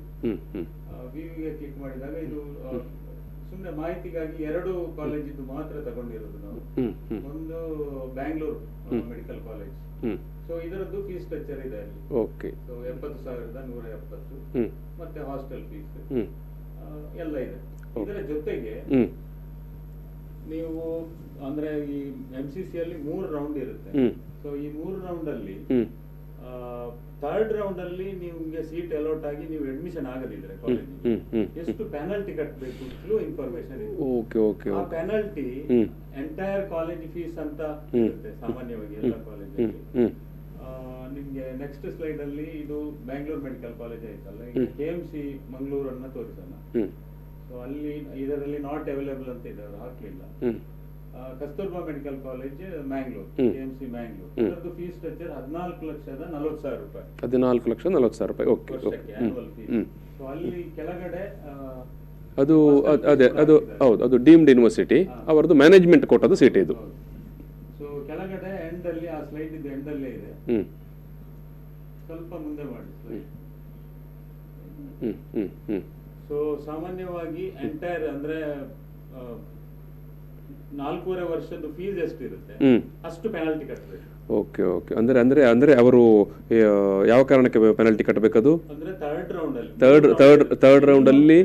ಸೀಟ್ ಅಲಾಟ್ಮೆಂಟ್ ಆಗಿ ಅವರು ಕಾಲೇಜಿಗೆ ಜಾಯಿನ್ ಆಗದಿದ್ರು. ಜಾಯಿನ್ ಆಗದಿದ್ದ ಪಕ್ಷದಲ್ಲಿ. ಓಕೆ ಓಕೆ ಓಕೆ ಓಕೆ ಈ M C C rules K E ಹಾಗೆ ಅಲ್ಲ. ಎಂ ಸಿ ಸಿಗೆ ರಿಜಿಸ್ಟ್ರೇಷನ್ ಆಗುವಾಗಲೇ ದುಡ್ಡು ಕಟ್ಟಬೇಕು ಡೆಪಾಸಿಟ್ ಮಾಡಬೇಕು. ಈಗ ಡೀಮ್ಡ್ ಯೂನಿವರ್ಸಿಟಿಯಲ್ಲಿ ಸೀಟ್ ತಗೊಳ್ಳೋದಿದ್ರೆ. ಐದು ಸಾವಿರ ರೂಪಾಯಿ ಒ ಬಿ ಸಿ ಅವರು. ಹತ್ತು ಸಾವಿರ ರೂಪಾಯಿ general merit students. Registration fees ಅಂತಲೇ ಕಟ್ಟಬೇಕು ಓಕೆ ಇದು ನಾನ್ ರಿಫಂಡ್ ಹ್ಮ್ ಹ್ಮ್ ಹ್ಮ್ ಹ್ಮ್ ಹ್ಮ್. ಮತ್ತೆ ಎರಡು ಲಕ್ಷ ರೂಪಾಯಿ ಡೆಪಾಸಿಟ್ ಮಾಡಬೇಕು. ಎರಡು ಲಕ್ಷ ರಿಜಿಸ್ಟ್ರೇಷನ್ ಮಾಡುವಾಗಲೇ ಈ ದುಡ್ಡು ಕಟ್ಟಬೇಕು okay okay okay registration fees option entry ಮಾಡುವಾಗ ಫಸ್ಟ್ ರೌಂಡಿಗೆ ಈ ಎರಡು ಲಕ್ಷ ರೂಪಾಯಿ ಡೆಪಾಸಿಟ್ ಮಾಡದಿದ್ರೆ ಆಪ್ಷನ್ ಎಂಟ್ರಿ ಮಾಡ್ಲಿಕ್ಕೆ ಆಗಲ್ಲ. ಓಕೆ ಓಕೆ ಎರಡು ಲಕ್ಷ ರೂಪಾಯಿ ರೂಲ್ಸ್ ಏನು ಅಂತ ಹೇಳಿದ್ರೆ. ಈಗ ಫಸ್ಟ್ ರೌಂಡ್ ಅಲ್ಲಿ ನಿಮ್ಗೆ ಸೀಟ್ ಅಲೌಟ್ ಆಗಿ ನಿಮ್ಗೆ ಎಂ ಸಿ ಸಿ ಅಲ್ಲಿ ಸೀಟ್ ಬೇಡ ಅಂತ ನೀವು ಬಿಟ್ರೆ ಬಿಟ್ರೆ ಹೌದು. ಈ ನೀವು ಕೌನ್ಸಿಲಿಂಗ್ ಪ್ರೊಸೆಸ್ ಇಂದ ಹೊರಗಡೆ ಬರ್ತೀನಿ ಅವಾಗ ನಿಮ್ಗೆ ಎರಡು ಲಕ್ಷ ವಾಪಸ್ ಸಿಗುತ್ತೆ. ಆ ದುಡ್ಡು ಬರ್ತದೆ ನೀವು ಮಾಡಿದ ಡೆಪಾಸಿಟ್ ಹಣ ಬರುತ್ತೆ. ಸೆಕೆಂಡ್ ರೌಂಡ್ ಈ ಡೆಪಾಸಿಟ್ ಮಾತ್ರ ರಿಜಿಸ್ಟ್ರೇಷನ್ ರಿಜಿಸ್ಟ್ರೇಷನ್ ಫೀಸ್ ಬರೋದಿಲ್ಲ ಓಕೆ ಸೆಕೆಂಡ್ ರೌಂಡ್ ಅಲ್ಲಿ ನಿಮ್ಗೆ ಸೀಟ್ ಅಲಾಟ್ ಆಗಿ ನೀವು ಫೀಸ್ ಕಟ್ಟಿ ಕಾಲೇಜಿಗೆ ಜಾಯಿನ್ ಆಗದಿದ್ರೆ ಆ ಎರಡು ಲಕ್ಷ ರೂಪಾಯಿ ಹೋಯ್ತು. Okay okay okay. ಬರುತ್ತೆ ಥರ್ಡ್ ರೌಂಡ್ ಅಲ್ಲಿ ನಿಮ್ಗೆ ಸೀಟ್ ಅಲೌಟ್ ಆಗಿ ನೀವು ಕಾಲೇಜಿಗೆ ಜಾಯಿನ್ ಆಗದಿದ್ರೆ ಫೀಸ್ ಕಟ್ಟಿ ಈಗ ನಾವು- ಹೌದೌದು ಈಗ ನಾವು ಹೌದು ಈಗ ನಾವು ನೋಡಿದೆವು ಅಲ್ವಾ ವರ್ಷದ ಫೀಸ್ ಅನ್ನ ನೀವು ಪೆನಲ್ಟಿ ಆಗಿ ಕಟ್ಟಬೇಕು ಓ ಹೋ ಹೋ ಹೋ ಇದು ಎಂ ಸಿ ಸಿಯ ಓಕೆ ಓಕೆ ಇದೇ ನೀವು ಗವರ್ಮೆಂಟ್ ಮೆಡಿಕಲ್ ಕಾಲೇಜ್ ಮತ್ತೆ ಸೆಂಟ್ರಲ್ ಯೂನಿವರ್ಸಿಟಿಯ ಫೀಸಿಗೆ ಬಂದ್ರೆ ಅದರದ್ದು ಫೀಸ್ ಸ್ಟ್ರಕ್ಚರ್ ಬೇರೆ ಇದೆ. ಹೌದು. ಈಗ ಡೀಮ್ಡ್ ಯೂನಿವರ್ಸಿಟಿಯಲ್ಲೂ ಕೂಡ ನಾವು ಒಂದು ಮಾತ್ರ ತೋರಿಸಿದ್ವಿ. ಹೌದು ಹೌದು ಹೌದು ಹೌದು ಒಂದು ಎಕ್ಸಾಂಪಲ್ ಮಾತ್ರ ತೋರಿಸಿದ್ವಿ ಹದಿನಾಲ್ಕು ಲಕ್ಷ ನಲ್ವತ್ತು ಸಾವಿರ. ಅದೇ ನೀವು ನಿಟ್ಟೆ ಯೂನಿವರ್ಸಿಟಿಗೆ ಬಂದ್ರೆ ಕೆ ಎಸ್ ಹೆಗ್ಡೆ ಮೆಡಿಕಲ್ ಅಕಾಡೆಮಿಗೆ ಬಂದ್ರೆ ಅವರ ಫೀಸ್ ಹದಿನಾರು ಲಕ್ಷ ಚಿಲ್ಲರೆ ಎಷ್ಟು ಎಷ್ಟು? ಹದಿನಾರು ಲಕ್ಷ ಎಪ್ಪತ್ತು ಸಾವಿರ ಇದೆ. ಅದೇ ನೀವು ಏನಪೋಯಕ್ಕೆ ಬಂದ್ರೆ ಅದು ಹದಿನೇಳು ಲಕ್ಷ ಐವತ್ತು ಸಾವಿರ ಏನೋ ಇದೆ. ಸೊ ಬೇರೆ ಬೇರೆ ಕಾಲೇಜಲ್ಲಿ ಅಂದ್ರೆ ಡೀಮ್ಡ್ ಯೂನಿವರ್ಸಿಟಿಗಳಲ್ಲಿ ನಮ್ಮ ರಾಜ್ಯದಲ್ಲಿರುವ ಅಂದ್ರೆ ಮಂಗಳೂರಿನಲ್ಲಿರುವ ಮೂರು ಕಾಲೇಜಿದ್ದ ಫೀಸ್ ಬೇರೆ. ವೇರಿಯೇಷನ್ ಆಗಿದೆ. ಒಂದು ಕಾಲೇಜಿಂದ ಒಂದು ಕಾಲೇಜಿಗೆ ವೇರಿಯೇಷನ್ ಆಗಿದೆ. ಹ್ಮ್, ಅದನ್ನ ನೋಡ್ಕೊಳ್ಳಿಕ್ಕೆ ತುಂಬಾ ಈಸಿ ನಾವು ಹೇಳಿದ್ವಲ್ಲ. ಎಂ ಸಿ ಸಿ ಅಂತ ಟೈಪ್ ಮಾಡಿದ್ರೆ ಸಾಕು ವೆಬ್ಸೈಟ್ ಅಲ್ಲಿ. M C C M C C ಅಂತ ಟೈಪ್ ಟೈಪ್ ಮಾಡಿದ್ರೆ? Dot nic dot in M C C open ಮಾಡಿ ಹೋಮ್. ಪೇಜ್ಗೆ ಹೋಗಿ ಅಲ್ಲಿ ಯು ಜಿ ಕೌನ್ಸಿಲಿಂಗ್ ಅಂತ ಕ್ಲಿಕ್ ಮಾಡಿದ್ರೆ ಯು ಜಿ ಕೌನ್ಸಿಲಿಂಗ್ನ ಪೇಜ್ ಓಪನ್ ಆಗುತ್ತೆ. ಹೌದು. ಮೇಲೆ ಹೋಗಿ ಪಾರ್ಟಿಸಿಪೇಟಿಂಗ್ ಇನ್ಸ್ಟಿಟ್ಯೂಷನ್ ಅಂತ ಕ್ಲಿಕ್ ಮಾಡಿದ್ರೆ ನಾವು ತೋರಿಸಿದ್ವಿ. ಹೌದು ತೋರಿ ಹೌದು ಹೌದು. ಕ್ಲಿಕ್ ಮಾಡಿದ್ರೆ ಎಲ್ಲ ಕಾಲೇಜ್ ಬರುತ್ತೆ. ಅಲ್ಲಿ ಎಂಡ್ ಅಲ್ಲಿ ಎರಡು ಕಾಲಮ್ ಇರುತ್ತೆ. ಒಂದು ವ್ಯೂ ಮತ್ತೆ ಶೋ ಬಾಂಡ್ ಅಂತ. ಬಾಂಡ್ ಅಂದ್ರೆ ಅದು ಒಂದು ವರ್ಷ ನಾನು ರೂರಲ್ ಸರ್ವಿಸ್ ಕೊಡ್ತೇನೆ ಅಂತ ಹೇಳಿ ಬಾಂಡ್ ಬಾಂಡ್. ಬಾಂಡ್ ಅದು. ಈ ವ್ಯೂ ಅಲ್ಲಿ ನೀವು ಕ್ಲಿಕ್ ಮಾಡಿದ್ರೆ ಪ್ರತಿಯೊಂದು ಕಾಲೇಜಿದ್ದು ಫೀಸ್ ಸ್ಟ್ರಕ್ಚರ್ ಬರುತ್ತೆ. ಮತ್ತು ಪೆನಲ್ಟಿ ಎಷ್ಟು ಅಂತ ಬರುತ್ತೆ. ಹಾಸ್ಟೆಲ್ ಫೀಸ್ ಕೂಡ ಬರುತ್ತೆ. ಸೊ ಇದು ಎಂ ಸಿ ಸಿಯ ಅದೇ ನೀವು ಗವರ್ಮೆಂಟ್ ಸೀಟ್ಗೆ ನೀವು ಅಪ್ಲೈ ಅಪ್ಲೈ ಮಾಡುದು ರಿಜಿಸ್ಟ್ರೇಷನ್ ಮಾಡುದಿದ್ರೆ ಐನೂರು ರೂಪಾಯಿ ಒ ಬಿ ಸಿ ಅವರು. ಒ ಬಿ ಸಿ ಅಂದ್ರೆ S C S T O B C ಎಲ್ಲ ಬಂದು ಓಕೆ ಓಕೆ ಮತ್ತೆ ಜನರಲ್ ಮೆರಿಟ್ ಸ್ಟೂಡೆಂಟ್ಸ್ ಒಂದು ಸಾವಿರ ರೂಪಾಯಿ ರಿಜಿಸ್ಟ್ರೇಷನ್ ಫೀಸ್ ಕಟ್ಟಬೇಕು ಮತ್ತು ಸೀಟ್ ಅಂದ್ರೆ ಇದಕ್ಕೆ ಕೌನ್ಸಿಲಿಂಗ್ಗೆ ಪಾರ್ಟಿಸಿಪೇಟ್ ಮಾಡೋದಿದ್ರೆ ಫೈವ್ ತೌಸಂಡ್ ರುಪೀಸ್ ಡೆಪಾಸಿಟ್ ಮಾಡಬೇಕು. ಅದು ರೂಲ್ಸ್ ಅದೇ ರೀತಿ ಇದೆ ಅದು ವಾಪಸ್ ಸಿಗಲ್ಲ. ಸಿಗಲ್ಲ. ಹೌದು ಹೌದು ಹ್ಮ್. ಸೊ ಇದು ಒಟ್ಟಾರೆ ಪ್ರೊಸೆಸ್ ಇನ್ನೊಂದು ಮಾಹಿತಿ ಏನು ಅಂತ ಹೇಳಿದ್ರೆ ಈ ಆಲ್ ಇಂಡಿಯಾ ಕೋರ್ಟ್ ಸೀಟ್ಸ್ ಏನಿದೆ ಸೇಮ್ ನಮ್ಮ ಕರ್ನಾಟಕ ರಾಜ್ಯದ ಗವರ್ಮೆಂಟ್ ಕಾಲೇಜ್ ಇತ್ತು ಅದು ಮೂರು ರೌಂಡ್ ಮಿನಿಮಮ್ ಮೂರು ರೌಂಡ್ ಇರುತ್ತೆ. ರೌಂಡ್ ಆದ್ಮೇಲೆ ಏನ್ ಸೀಟ್ ಉಳಿಯಿತು ರೌಂಡ್ ಆದ್ಮೇಲೆ ಸೀಟ್ ಉಳಿ ಎಲ್ಲ ವರ್ಷನೂ ಉಳಿಯಿತು ಹ್ಮ್ ಹ್ಮ್ ಹ್ಮ್ ಹ್ಮ್ ಈ ಗವರ್ಮೆಂಟ್ ಮೆಡಿಕಲ್ ಕಾಲೇಜ್ ಇದ್ದು ಆಲ್ ಇಂಡಿಯಾ ಕೋಟಾದ ಸೀಟ್ ಕೂಡ ಉಳಿಯುತ್ತೆ. ಡೀಮ್ಡ್ ಯೂನಿವರ್ಸಿಟಿಯ ಮ್ಯಾನೇಜ್ಮೆಂಟ್ ಸೀಟ್ ಕೂಡ ಉಳಿಯುತ್ತೆ. ಈ ಸೀಟ್ಸ್ ಏನಿದೆ ಇದನ್ನ ಕಾಲೇಜಿಗೆ ಹಾಗೆ ಬಿಟ್ಕೊಡೋದಿಲ್ಲ ಅವರು. ಅದನ್ನ ಕೆಇಗೆ ಹಾಕ್ತಾರೆ. ಓಕೆ ಓಕೆ ಸೊ ಫೈನಲ್ ರೌಂಡ್ಗೆ ಆಲ್ ಇಂಡಿಯಾ ಕೋಟಾದ ಗವರ್ಮೆಂಟ್ ಸೀಟ್ಗಳು ಕೂಡ ಸೇರ್ಪಡೆ ಆಗುತ್ತೆ. ಕಳೆದ ವರ್ಷ ಸುಮಾರು ನೂರ ಐವತ್ತೊಂದು ಸೀಟ್ ಸೇರ್ಪಡೆ ಆಗಿದೆ ನೂರ ಐವತ್ತೊಂದು ಸೀಟ್ಗಳು ಕೋಟಾದ ಫಿಫ್ಟೀನ್ ಪರ್ಸೆಂಟ್ ಸೀಟ್ಸ್ ಏನಿದೆ? ಮೆಡಿಕಲ್ ಸೀಟ್ಸ್ ಸೇರ್ಪಡೆ ಆಗಿದೆ. ಈ ವರ್ಷನೂ ಕೂಡ ಸೇರ್ಪಡೆ ಆಗುತ್ತೆ. ಮತ್ತೆ ಇನ್ನೊಂದು ಮಾಹಿತಿ ಏನು ಅಂತ ಹೇಳಿದ್ರೆ ಈ ಡೀಮ್ ಈ ನೀಟ್ ಎಕ್ಸಾಮೇ ಮಾಡಿರೋದು. ಹ್ಮ್. ಬೇರೆ ಬೇರೆ ಯೂನಿವರ್ಸಿಟಿಗಳು ಅವರದೇ ಆದಂತಹ ಎಂಟ್ರೆನ್ಸ್ ಎಕ್ಸಾಮ್ಸ್ ಅನ್ನ ಮಾಡ್ತಾ ಇದ್ದಾರೆ. ಮತ್ತೆ ಇಲ್ಲಿ ಕರ್ನಾಟಕದಲ್ಲಿ ಗವರ್ಮೆಂಟ್ ಕೋಟಾ ಸೀಟಿಗೆ ಸಿಇಟಿ ಇತ್ತು ಮತ್ತೆ ಮ್ಯಾನೇಜ್ಮೆಂಟ್ ಸೀಟಿಗೆ ಕಾಮೆಂಟ್ ಕಾಮೆಂಟ್ ಅಂತ ಇತ್ತು ಹೌದು. ಮತ್ತು ಲಿಂಗ್ವಿಸ್ಟಿಕ್ ಮತ್ತೆ ರಿಲಿಜಿಯಸ್ ಮೈನಾರಿಟಿ ಇನ್ಸ್ಟಿಟ್ಯೂಷನ್ ಇತ್ತು ಬೇರೆ ಒಂದು ಸಂಘಟನೆ. ಹೌದು ಹೌದು ಬೇರೆ ಇತ್ತು ಹೌದು. ಕೆ ಆರ್ ಎಲ್ ಎಂ ಅವರು ಒಂದು ಎಕ್ಸಾಮ್ ಕಂಡಕ್ಟ್ ಹೌದು, ಸೊ ಒಟ್ಟಾರೆ ಮಕ್ಕಳು ತುಂಬಾ ಎಕ್ಸಾಮ್ ಎಲ್ಲ ಬರೀಲಿಕ್ಕೆ. ಹೌದು ಹೌದು. ಮತ್ತು ಇದು ಏನು ಮಾರಾಟ ಆಗುತ್ತೆ ಸೀಟು ಎಸ್ ಎಸ್ ಎಸ್ ಅಂತ ಅಂತ ಅಂತ ಒಂದು ಬಾರಿ ಒಂದು ಇದನ್ನ ತಪ್ಪಿಸಬೇಕು. ಮತ್ತೆ ಆ ಕ್ವಾಲಿಟಿ ಎಜುಕೇಶನ್ ಮೆಡಿಕಲ್ ಅಲ್ಲಿ ಕ್ವಾಲಿಟಿ ಎಜುಕೇಶನ್ ಕೊಡ್ಲಿಕ್ಕೆ ಆಗಲ್ಲ. ಯಾಕಂತ ಹೇಳಿದ್ರೆ ದುಡ್ಡಿರುವ ದುಡ್ಡಿರೋ ದುಡ್ಡಿರೋನು ಹೋಗಿ ಮೆಡಿಕಲ್ ಸೀಟ್ ತಕೊಂಡ್ರೆ ನಾಳೆ ಅವನು ಏನು ಓದ್ತಾನೆ ಮತ್ತೆ ಏನು ವೈದ್ಯನಾಗ್ತಾನೆ ಅನ್ನೋ ಪ್ರಶ್ನೆ ಇರ್ತೈತೆ. ಸೇವೆ ಇದನ್ನ ತಪ್ಪಿಸ್ಲಿಕ್ಕೆ ಒಂದು ಒಳ್ಳೆ ಉದ್ದೇಶದಿಂದ ನೀಟ್ ಕಂಡಕ್ಟ್ ಮಾಡಿರು ಉದ್ದೇಶ ತುಂಬಾ ಚೆನ್ನಾಗಿದೆ. ಬಟ್ ಇಲ್ಲೂ ಕೂಡ ವ್ಯಾಪಾರ ಆಗುತ್ತೆ. ಅದು ವ್ಯಾಪಾರ ಹೇಗೆ ಆಗುತ್ತೆ ಅಂತ ಹೇಳಿದ್ರೆ. ಡೈರೆಕ್ಟ್ ಸೀಟ್ ಕೊಡಲಿಕ್ಕೆ ಇಲ್ಲದಿದ್ರು ಕೂಡ ಯಾವುದೇ ಮೆಡಿಕಲ್ ಕಾಲೇಜಿನವರು ಸ್ಟೂಡೆಂಟ್ಗೆ ಡೈರೆಕ್ಟ್ ಸೀಟ್ ಕೊಡ್ಲಿಕ್ಕಿಲ್ಲ. ನಾವು ಇಷ್ಟು ದುಡ್ಡು ಕೊಡ್ತೇವೆ ನಮ್ಗೆ ಮೆಡಿಕಲ್ ಸೀಟ್ ಕೊಡಿ. ನೋ ಸಾಧ್ಯತೆ ಏನು ಅಂತ ಹೇಳಿದ್ರೆ ಅಲ್ಲಿ ಕೌನ್ಸಿಲಿಂಗ್ ಅಲ್ಲಿ ಸೀಟ್ ಉಳಿದ್ರೆ ವಾಪಸ್ ಬರುತ್ತೆ. ಹೌದೌದು ನೀವು ಹೇಳಿದ್ರಲ್ಲ ಹೌದು. ಇಂದಲೂ ಕೂಡ ಮ್ಯಾನೇಜ್ಮೆಂಟ್ ಸೀಟ್ ಇದೆ. N R I seat other seats private seats ಎಲ್ಲ ಕೆ ಆರ್ ಕೆ ಇ ಇಂದಲೇ ಆಗುತ್ತೆ.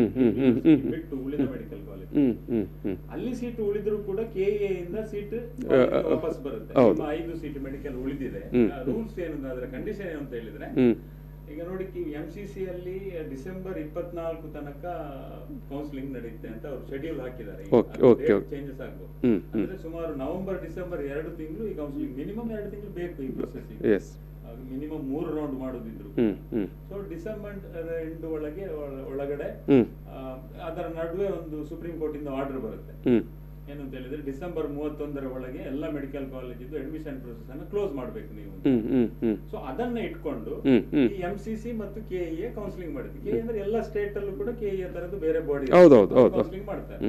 ನೀವು twenty ಫೋರ್ತ್ಗೆ M C C counselling close ಆಯ್ತಲ್ಲ?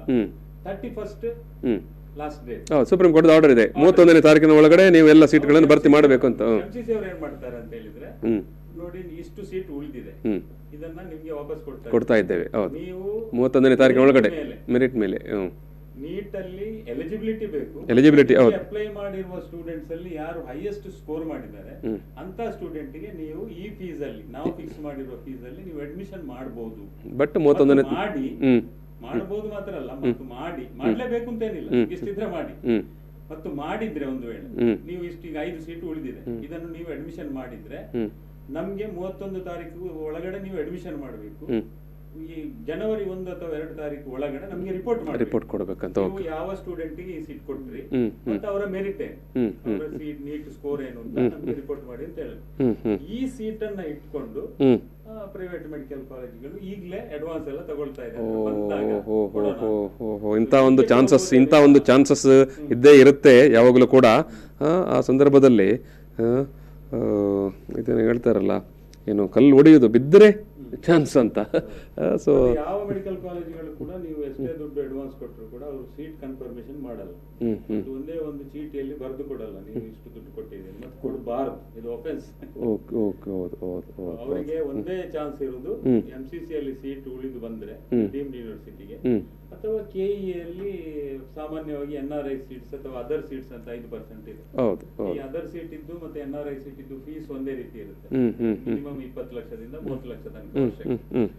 ಸೀಟ್ಗಳು ಉಳಿದ್ರೆ ಅದು ವಾಪಸ್ ಬಂದಾಗ ಇದೇ ರೂಲ್ಸ್ ಅಲ್ಲಿ ಸೀಟ್ ಅಲಾಟ್ ಮಾಡಿ ಅಂತ ಹೇಳ್ತಾರೆ. ಆ ರೀತಿ ಒಟ್ಟಾರೆ ಪ್ರೊಸೆಸ್ ನಡೆಯಿತು. Yes yes yes yes yes okay Umer ಅವರ ಬಾರಿ ಬಾರಿ ಬಾರಿ ಒಳ್ಳೆಯ ಮಾಹಿತಿ ಇತ್ತು. ಈಗ ನಾವು ನೋಡುವ ಈಗ ಸಿ ಇ ಟಿ ಡಾಕ್ಯುಮೆಂಟ್ ಏನು ವೆರಿಫಿಕೇಷನ್ ಒಂದು ಪ್ರಕ್ರಿಯೆ ಅದರಲ್ಲಿ ಏನೇನು ಆಗಬೇಕು ಏನೇನು ಮಾಡಬೇಕು ಅನ್ನೋದು ಈಗ ಒಂದು ಸಣ್ಣ ಬ್ರೇಕ್ ತಗೊಳ್ಳೋ ಬ್ರೇಕ್ ನಂತರ ಈ ಒಂದು ಸಂವಾದ ಮತ್ತೆ ಮುಂದುವರಿತದೆ ಸೊ ಅವನಿಗೆ ಅವನ ರ್ಯಾಂಕ್ ಚೆನ್ನಾಗಿದ್ರೆ ಅಂದರೆ ಎರಡು ಲಕ್ಷ ಮೂರು ಲಕ್ಷ ರ್ಯಾಂಕ್ ಇದ್ರಲ್ಲ ಅಲ್ಲಿ ಸೀಟ್ ಸಿಗಲ್ಲ. ಸೊ ರ್ಯಾಂಕ್ ತುಂಬಾ ಚೆನ್ನಾಗಿದೆ. ಅಂದ್ರೆ ತ್ರೀ ಫೋರ್ ಡಿಜಿಟ್ಸ್ ಅಲ್ಲಿ ಇದೆ. Okay okay all India rank so try ಮಾಡಬಹುದು ಸೊ ಅಲ್ಲಿಗೆ ಹೋಗ್ಬೋದು. ಹೋಗ್ಲಿಕ್ಕಿದೆ. ಅಥವಾ ಡೆಲ್ಲಿ ಯೂನಿವರ್ಸಿಟಿಯಲ್ಲಿ ಜಾಮಿಯಾ ಮಿಲಿಯಾದಲ್ಲಿ ಅಲಿಗಢ್ ಮುಸ್ಲಿಂ ಯೂನಿವರ್ಸಿಟಿಯಲ್ಲಿ ಸೊ ಅಲ್ಲಿ ಮೆಡಿಕಲ್ ಮಾಡಬೇಕು ನನಗೆ ಅಂತ ಇರುವವರು. ಅವರಿಗೊಂದು ಅವಕಾಶ ಅದು. ಅದು ಬಿಟ್ರೆ ಕೆಲವರಿಗೆ ಅವರ ಫ್ಯಾಮಿಲಿ ಎಲ್ಲ ಮಹಾರಾಷ್ಟ್ರದಲ್ಲಿದೆ. ಅಲ್ಲಿ ಮೆಡಿಕಲ್ ಕಾಲೇಜಲ್ಲಿ ಟ್ರೈ ಮಾಡೋಣ ಅಥವಾ ಕೇರಳದಲ್ಲಿದೆ. ಆ ರೀತಿ ಟ್ರೈ ಮಾಡ್ಲಿಕ್ಕೆ ಇರುವವರು ಮಾತ್ರ ಸಾಮಾನ್ಯವಾಗಿ. ಮತ್ತು ಸೀಟ್ ಸಿಗುವ ಸಾಧ್ಯತೆ ನಾನು ಹೇಳಿದಾಗೆ ಫೋರ್ ಫೈವ್ ಡಿಜಿಟ್ಸ್ ಒಳಗಡೆ ಆಲ್ ಇಂಡಿಯಾ ರ್ಯಾಂಕ್ ಇರುವವರಿಗೆ ಮಾತ್ರ. ಅಂದ್ರೆ ಅದು ಫಿಫ್ಟೀನ್ ಪರ್ಸೆಂಟ್ ಸೀಟ್ ಇರುವುದಲ್ವಾ? ಹೌದು ನಾವು ಈ ಕಟ್ ಆಫ್ ಅನಲೈಸರ್ ಅಲ್ಲಿ ಅದನ್ನು ಕಟ್ ಆಫ್ ಎನಲೈಸರ್ ಅಲ್ಲಿ ಸ್ಕ್ರೀನ್ ಅಲ್ಲಿ ಬರ್ತಾ ಇದೆ. ಸೊ ಇದರಲ್ಲಿ ಇದನ್ನ ಯಾಕೆ ಇಲ್ಲಿ ಹಾಕಿದ್ದೀವಿ ಅಂತ ಹೇಳಿದ್ರೆ ಇದು KEA cut off analyser last two thousand nineteen so ಈ ಟೂ ತೌಸಂಡ್ ನೈನ್ಟೀನ್ ಅಲ್ಲಿ ಯಾವ ಯಾವ ಕೆಟಗರಿಯವರಿಗೆ ಸೀಟ್ ಸಿಕ್ಕಿದೆ? ಯಾವ ಯಾವ ಸೀಟ್ ಸಿಕ್ಕಿದೆ ಅಂತ ನೋಡ್ಲಿಕ್ಕೆ ಆಗುತ್ತೆ. ಸೊ ಅದಕ್ಕಾಗಿ ಕಟಲ್ ಕಟ್ ಆಫ್ ಎನಲೈಸರ್ ಹಾಕಿರೋದು. ಅದು ನೋಡುವ ವಿಧಾನ ಏನು ಅಂತ ಹೇಳಿದ್ರೆ ಈಗ ಫಸ್ಟ್ ಅಲ್ಲಿ ಅದನ್ನು ದೊಡ್ಡದು ಮಾಡಿದ್ರೆ ಗೊತ್ತಾಗುತ್ತೆ. ಫುಲ್ ಸ್ಕ್ರೀನ್ಗೆ ಬಂದ್ರೆ ಓಕೆ ಓಕೆ. ನೋಡು ಈಗ ಅವರು ಸೊ ಅಲ್ಲಿ ಫಸ್ಟಿಗೆ ಪ್ರೊಫೆಷನ್ ಅಂತ ಇದೆ. ಅಲ್ಲಿ ಪ್ರೊಫೆಷನ್ ಅಲ್ಲಿ ನಿಮ್ಗೆ ಅಲ್ಲಿ medical dental I S M H engineering ಎಲ್ಲ ಎಲ್ಲ ಇದೆ. ಅಂದ್ರೆ ಕೆ ಎ ಯಾವ್ದೆಲ್ಲ ಸೀಟ್ ಅಲಾಟ್ ಮಾಡುತ್ತೆ ಅವೆಲ್ಲವೂ ಬರುತ್ತೆ. ಹೌದು ನೋಡಿ. ಸೊ ಅಲ್ಲಿ ಪ್ರೊಫೆಷನ್ ಅಂತ ಇರುವಲ್ಲಿ ನೀವು ಮೆಡಿಕಲ್ಗೆ ಸೀಟ್ ಹುಡುಕ್ತೀರಿ ಅಂತಂದ್ರೆ ಮೆಡಿಕಲ್ ಅಂತ ಕ್ಲಿಕ್ ಮಾಡ್ಬೇಕು. ಅಲ್ಲಿ ಬರುತ್ತೆ ನೀವು ಕ್ಲಿಕ್ ಮಾಡಿದ್ರೆ. ಹೌದು ಹೌದು. ಸೊ ಅದಾದ್ಮೇಲೆ ಕೆಳಗಡೆ ಕಾಲೇಜಸ್ ಅಂತ ಬರುತ್ತೆ. ಸೊ ಇದಲ್ಲ ಇದು ಸ್ಲೈಡ್ ಇದು ಎಂ ಸಿ ಸಿಯ ಇದು ಸ್ಲೈಡ್ ಇದು. ಇದು ಮೂರು ರೌಂಡ್ ಅಂತ ಹೇಳಿದೆ ಅಲ್ಲ ಅದರ ಶೆಡ್ಯೂಲ್ ಅದು. ಸೊ ಇದು ಕಟ್ ಆಫ್ ಹೌದು, ಸೊ ಇದೆ, ಇದರಲ್ಲಿ ಇದೆ ಕಾಲೇಜ್ ನೇಮ್ ಅಂತ ಇದೆ. ಸೊ ಕಾಲೇಜ್ ನೇಮ್ ಅಲ್ಲಿ ನಿಮ್ಗೆ ಪರ್ಟಿಕ್ಯುಲರ್ ಕಾಲೇಜ್ ಈಗ ಎ ಜೆ ಮೆಡಿಕಲ್ ಕಾಲೇಜ್ ಅಂತ ನೀವು ಹುಡುಕ್ಬೋದು. ಅಥವಾ ಆಲ್ ಅಂತ ಒಂದು ಆಪ್ಷನ್ ಇದೆ. ಅಲ್ಲಿ ಆಲ್ ಅಂತ ಹಾಕಿದ್ರೆ ನಿಮಗೆ ಕರ್ನಾಟಕದ ಎಲ್ಲ ಮೆಡಿಕಲ್ ಕಾಲೇಜಲ್ಲಿ ಕಟ್ ಆಫ್ ರ್ಯಾಂಕ್ ಅಂತ ಸಿಗುತ್ತೆ. ಎರಡನೇ ಲೈನ್ ಅಲ್ಲಿ ಇರುವುದು ಕೆಟಗರಿ. ಹ್ಮ್. ಸೊ ಅಲ್ಲಿ ನಿಮ್ಗೆ ಆಲ್ ಅಂತಲೂ ಹಾಕ್ಬಹುದು ಅಥವಾ ಟೂ ಬಿನೋ ತ್ರೀ ಬಿನೋ ತ್ರೀ ಏನು ಎಸ್ ಟಿನೋ ಎಸ್ ಸಿನೋ ಕ್ಯಾಟಗರಿ ಕೆಟಗರಿ ಒನ್ ಯಾವ್ದು ಬೇಕಾದ್ರೂ ಹಾಕ್ಬಹುದು ನಾಲ್ಕನೇ ಕಾಲಮ್ ಅಲ್ಲಿ ಇರುವುದು ಇದು ಕೋರ್ಸ್ ಸೊ ಕೋರ್ಸ್ ಅಂತ ಇರುವಲ್ಲಿ ಏನಾಗ್ಬೇಕು ಅಂತ ಹೇಳಿದ್ರೆ M B B S government ಅಂತ ಇದೆ. M B B S private ಅಂತಿದೆ M B B S N R I ಇದೆ. M B B S other ಅಂತ ಇದೆ. ಬೇರೆ ಬೇರೆ ಫೀಸ್ಗೆ ಫೀಸ್ಗೆ ನಾವು ಕಳೆದ ಸಲ ಹೇಳಿದ್ವಿ ಬೇರೆ ಬೇರೆ ಫೀಸ್ ಸ್ಟ್ರಕ್ಚರ್ ಇದೆ ಹೌದು ಹೌದು ಹೌದು ಹೌದು. ಸೊ ಅದರಲ್ಲಿ ನೀವು ಯಾವ್ದನ್ನ ಹುಡುಕ್ತೀರಿ ಅದು ಹಾಕ್ಬೇಕು. ಅದಾದ್ಮೇಲೆ ಕೊನೆಯಲ್ಲಿ ರೌಂಡ್ ಅಂತ ಇದೆ first round second round mock allotment ಅಂತೆಲ್ಲ ಇದೆ. ಸೊ ನೀವು ಫೈನಲ್ ರೌಂಡಿಗೆ ಹಾಕ್ಬೇಕು ಸೆಕೆಂಡ್ ರೌಂಡಿಗೆ ಅಲ್ಲಿ ಅಂದ್ರೆ ಬೈ ಮಿಸ್ಟೇಕ್ ಅವ್ರು ಸೆಕೆಂಡ್ ರೌಂಡ್ ಅಂತಲೇ ಎರಡು ಸಲ ಹಾಕಿದ್ದಾರೆ. ಅದು ಫೈನಲ್ ರೌಂಡ್ ಓಕೆ ಕೊನೆಯಲ್ಲಿರೋದು ಫೈನಲ್ ರೌಂಡ್ ಅದಕ್ಕೆ ಕ್ಲಿಕ್ ಮಾಡಿದ್ರೆ ನಿಮ್ಗೆ ಕಟ್ ಆಫ್ ರ್ಯಾಂಕ್ ಗೊತ್ತಾಗುತ್ತೆ. ಫಾರ್ ಎಕ್ಸಾಂಪಲ್ ಈಗ ನನ್ನ ಒಂದು ಸ್ಟೂಡೆಂಟ್ ಇದ್ದು ಆಲ್ ಇಂಡಿಯಾ ರ್ಯಾಂಕ್ ಎಂಬತ್ತು ಸಾವಿರ ಎಂಟುನೂರು ಅಂತ ಇಟ್ಕೊಳ್ಳೋಣ. ಓಕೆ ಸೊ ಈ ಎಂಬತ್ತು ಸಾವಿರ ಎಂಟುನೂರು ರ್ಯಾಂಕ್ ಇದೆ all India rank so seat avail ಸಿಗುವ ಸಾಧ್ಯತೆ ಎಲ್ಲೆಲ್ಲ ಇದೆ. ನನಗೆ ಸಿಗುತ್ತಾ ಮೆಡಿಕಲ್. ಸಿಗುತ್ತಿದ್ರೆ ಸಿಗುತ್ತಾ ಹೌದು ಮೊದಲೇ ತಿಳಿಯುತ್ತೆ. ಸೊ ಅಂದಾಜು ಗೊತ್ತಾಗುತ್ತೆ. ಈಗ ಲಾಸ್ಟ್ ಇಯರ್ ಇದು ಕಟ್ ಆಫ್ ರ್ಯಾಂಕ್ ಎಂಬತ್ತು ಸಾವಿರದ ಆಚೆ ಈಚೆ ಇರ್ಬೋದು. ಆಚೆ ಈಚೆ ಇದ್ರೂ ಕೂಡ ಸೊ ಬೋರ್ಡರ್ ಲೈನ್ ಅಲ್ಲಿ ಇದ್ದೀವಿ ಅಂತ ನಾವು ಅರ್ಥ. ಈಗ ಲಾಸ್ಟ್ ಇಯರ್ ಸೆವೆಂಟಿ ನೈನ್ ತೌಸಂಡ್ಗೆ ಸಿಕ್ಕಿದೆ. ನನ್ನದು eighty thousand one thousand rank difference ಸಿಗ್ಬಹುದು ನೈಂಟಿ ಪರ್ಸೆಂಟ್ ಸಿಗ್ಬಹುದು ಬಟ್ ಟೆನ್ ಪರ್ಸೆಂಟ್ ಸಿಗದೇ ಇರುವ ಸಾಧ್ಯತೆ ಕೂಡ ಇದೆ. ಬಟ್ ಅದ್ರ ಕೆಳಗಡೆ ಇದ್ರೆ ಅಂದ್ರೆ ಸೆವೆಂಟಿ ನೈನ್ ತನಕ ಸಿಕ್ಕಿದೆ. ನಂದು ರ್ಯಾಂಕ್ ಇರೋದು seventy two thousand hundred percent ಸಿಗುತ್ತೆ ಸೊ ನನ್ಗೆ ಗೌರ್ಮೆಂಟ್ ಕೋಟಾದ ಸೀಟ್ ಸಿಗುತ್ತೆ ಅಂತ ಗೊತ್ತಾಯ್ತು. ಸಿಗಲ್ಲ ಅಂತ ಆದ್ರೆ ಮತ್ತೆ ಪ್ರೈವೇಟ್ ಸೀಟಿಗೆ ನಾನು ಹೋಗುದು ಅಥವಾ ಡೆಂಟಲ್ಗೆ ಹೋಗುದಿದ್ರೆ ಬಿ ಡಿ ಎಸ್ ಹುಡುಕ್ಬೋದು. ಸೊ ಎಸ್ ಸಿಗುತ್ತೆ ಹಂಡ್ರೆಡ್ ಪರ್ಸೆಂಟ್ ಗೌರ್ಮೆಂಟ್ ಕೂಡ ಇಲ್ಲ ನನಗೆ ಮೆಡಿಕಲ್ ಮಾಡಬೇಕು ಪ್ರೈವೇಟ್ ಸೀಟ್ ಇದೆ ಅಲ್ಲ ಒಂಬತ್ತು ಲಕ್ಷ ಫೀಸ್ ಇದ್ದು. ಅದು ಸಿಗುತ್ತಾ ಅಂತ ಹುಡುಕಬಹುದು ಅದು ಸಿಗುತ್ತೆ. ಅದರಲ್ಲಿ ಜನರಲ್ ಮೆರಿಟ್ ಪ್ರೈವೇಟ್ ಅಂತಲೂ ಇದೆ. ಈ ತುಳು ಕೊಡವ ತಮಿಳು ತೆಲುಗು ಲಿಂಗ್ವಿಸ್ಟಿಕ್ ಮೈನಾರಿಟಿ ಮತ್ತು ಎರಡು ಮುಸ್ಲಿಂ ಮತ್ತೆ ಕ್ರಿಶ್ಚಿಯನ್ ರಿಲಿಜಿಯಸ್ ಮೈನಾರಿಟಿ ಇನ್ಸ್ಟಿಟ್ಯೂಷನ್ಸ್ ಇದೆ. ಸೊ ಈ ಈ ಎಲ್ಲ ಕಾಲೇಜುಗಳಲ್ಲಿ ಅದಕ್ಕೆ ನಾನು ಎಲಿಜಿಬಲ್ ಅಂತ ಆದ್ರೆ. ನನ್ನ ಹತ್ರ ತಹಶೀಲ್ದಾರ್ ನೀಡಿರುವ ಮೈನಾರಿಟಿ ಸರ್ಟಿಫಿಕೇಟ್ ಇದೆ. ಪ್ರಮಾಣ ಪತ್ರಗಳು. ಹೌದು ನಾನು ಹತ್ತು ವರ್ಷ ಕರ್ನಾಟಕದಲ್ಲಿ ನನ್ನ ಸ್ಟೂಡೆಂಟ್ ಕಲ್ತಿದ್ದಾರೆ ಅಂತಂದ್ರೆ ನಾನು ಎಲಿಜಿಬಲ್ ಸೊ ಆವಾಗ ನನಗೆ ಈ ಸೀಟ್ ಸಿಗುತ್ತಾ ಅಂತ ಹುಡುಕ್ಬೋದು. ಹುಡುಕಿ ಅದು ಸಿಗುತ್ತೆ ಅಂತ ಆದ್ರೆ ಸೊ ನನ್ನ ರ್ಯಾಂಕಿಗೆ ಮೆಡಿಕಲ್ ಗೌರ್ಮೆಂಟ್ ಕೋಟಾದ ಸೀಟ್ ಸಿಗುವುದು ಡೌಟ್ ಅಂದ್ರೆ ನೈಂಟಿ ಪರ್ಸೆಂಟ್ ಸಿಗುತ್ತೆ ಹತ್ತು ಪರ್ಸೆಂಟ್ ಬಟ್ ಡೆಂಟಲ್ ಗೌರ್ಮೆಂಟ್ ಸಿಗುತ್ತೆ. ಮೆಡಿಕಲ್ ನನಗೆ ಮಾಡ್ಬೇಕಿದ್ರೆ ಒಂಬತ್ತು ಲಕ್ಷ ಫೀಸ್ ಇದ್ದು.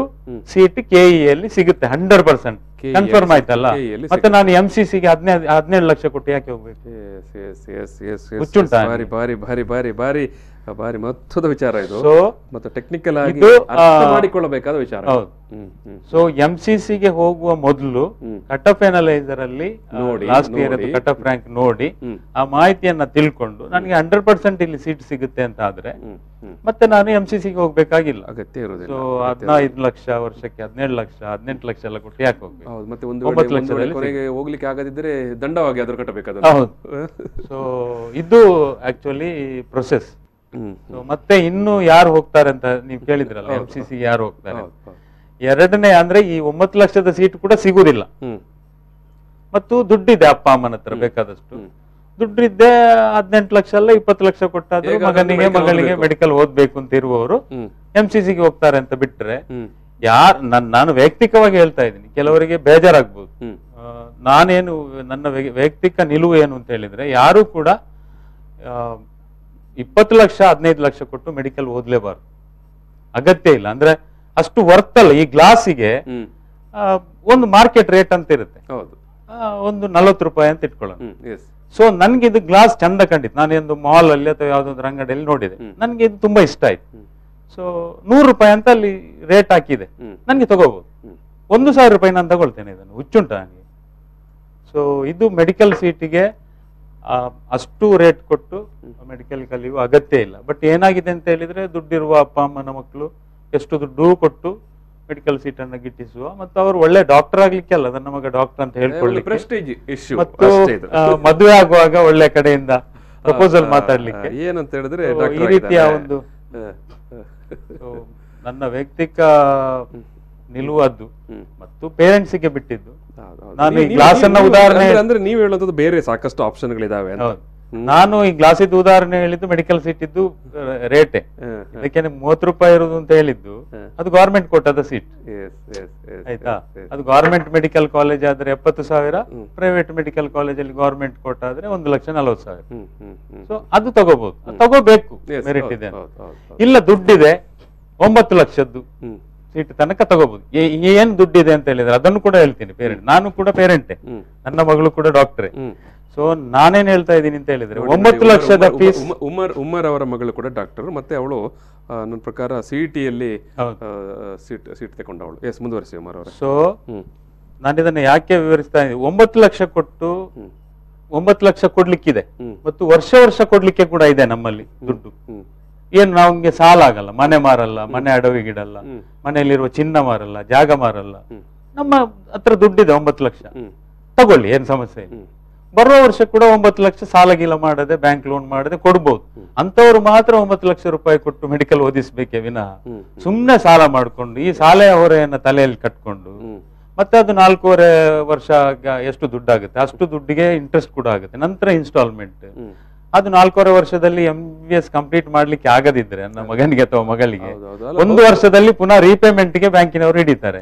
ಸೊ ಆವಾಗ ಎಲ್ಲಿಂದ ಕಟ್ತೀವಿ ಅಂತ? ಬೇರೆ ಮಕ್ಕಳು ಇದ್ದಾರಲ್ಲ ಅವ್ರಿಗೂ ಓದಿಸ್ಬೇಕಲ್ಲ. ಮತ್ತೆ ಎಂ ಬಿ ಬಿ ಎಸ್ ಮಾತ್ರ ಕಲ್ತ್ರೆ ಸಾಕಾಗಲ್ಲ ಪುನಃ ಪಿ ಜಿ ಮಾಡ್ಬೇಕು. ಪಿ ಜಿ ಮಾಡ್ಲಿಕ್ಕೆ ಕೋಟಿ ಕೊಟ್ಟು ಎಲ್ಲಿಂದ ಕತ್ತರ್ತೀವಿ ತರ್ತೀವಿ? ಸೊ ಮೆರಿಟ್ ಅಲ್ಲೇ ಮಕ್ಕಳು ಕಲಿಬೇಕು ಅಂತ. ಇದು ಸಾಧ್ಯ ಆಗುತ್ತೆ ಬಟ್ ಒಟ್ಟು ನಮ್ಮ ಎಜುಕೇಶನ್ ಸಿಸ್ಟಮ್ ಏನಿದೆ ಇದು ಉಳ್ಳವರ ಪರವಾಗಿಯೇ ತೀರ್ಮಾನಗಳನ್ನು ತಗೊಳ್ಳು ಯಾವುದೇ ರಾಜಕೀಯ ಪಕ್ಷ ಅಧಿಕಾರಕ್ಕೆ ಬಂದರೂ ಕೂಡ ಎಲ್ಲ ಉಳ್ಳವರ ಫಲ ಪರವಾಗಿ ನಾನೊಮ್ಮೆ ಆರ್ಟಿಕಲ್ ಕೂಡ ಬರ್ದಿದ್ದೆ. ಅಂದ್ರೆ ಅಂದ್ರೆ ಅಂದ್ರೆ ಪ್ರತಿ ವರ್ಷ ಏನು ಫೀಸ್ ಸ್ಟ್ರಕ್ಚರ್ ಅನ್ನು ಚೇಂಜ್ ಮಾಡ್ತಾ ಇರ್ತಾರೆ. ಯಾರು ಮಾತನಾಡುವುದಿಲ್ಲ. ಯಾರು ಮಾತನಾಡುವುದಿಲ್ಲ. ಈವನ್ ಸರ್ಕಾರಿ ಕೋಟದ ಸೀಟ್ಗಳ ದರ ಹೆಚ್ಚು ಮಾಡಿದ್ರು ಕೂಡ ಮಾತಾಡೋದಿಲ್ಲ ಎಷ್ಟು ಹೆಚ್ಚು ಮಾಡಿದ್ರು ಗೊತ್ತಾ? ಟೂ ತೌಸಂಡ್ ಏಯ್ಟೀನ್ ತನಕ 2018 ಗವರ್ಮೆಂಟ್ ಮೆಡಿಕಲ್ ಕಾಲೇಜಿದ್ದು ಫೀಸ್ ಎಷ್ಟಿತ್ತು ಗೊತ್ತಾ? ಹದಿನಾರು ಸಾವಿರದ ಏಳ್ನೂರು ರೂಪಾಯಿ. ಹದಿನಾರು ಸಾವಿರದ ಏಳ್ನೂರು ರೂಪಾಯಿ. ಅದನ್ನ ಸೀಟ್ಗೆ ಮೆಡಿಕಲ್ ಸೀಟಿಗೆ ಗವರ್ಮೆಂಟ್ ಮೆಡಿಕಲ್ ಕಾಲೇಜ್ ಎರಡು ಸಾವಿರದ ಹದಿನೆಂಟರಲ್ಲಿ ಎಷ್ಟು ಮಾಡಿದ್ರು ಗೊತ್ತಾ? ಐವತ್ತ ಎರಡು ಸಾವಿರ ಮಾಡಿದ್ರು. ಮೂರು ಪಟ್ಟಿಗಿಂತಲೂ ಜಾಸ್ತಿ ಮಾಡಿದ್ರು. ಐವತ್ತೆರಡು ಸಾವಿರಕ್ಕೆ ಮಾಡಿದ್ರು ಒಮ್ಮೆಲೆ. ಮೂರು ಪಟ್ಟಿಗೂ ಜಾಸ್ತಿ. ಜಾಸ್ತಿ. ಸೊ ಇದನ್ನ ಯಾಕೆ ಜಾಸ್ತಿ ಮಾಡಿದ್ವಿ ಅಂತ ಕೇಳಿದ್ರೆ ಸರ್ಕಾರದಲ್ಲಿ ಆವಾಗ ಅಧಿಕಾರದಲ್ಲಿದ್ದ ಸರ್ಕಾರದ ಜೊತೆಗೆ ಮಾತಾಡುವಾಗ ನಾನಂದ್ರೆ ವಿಧಾನಸೌಧದಲ್ಲಿ ಮೀಟಿಂಗ್ ಅಲ್ಲಿ ಮಾತಾಡುವಾಗ ಕೇಳಿದ್ರೆ ಅವ್ರು ಏನ್ ಹೇಳ್ತಾರೆ ಅಂತ ಹದಿನಾರು ಸಾವಿರದ ಪಿ ಯು ಸಿ ಫೀಸ್ ಕೂಡ ಅಲ್ಲ.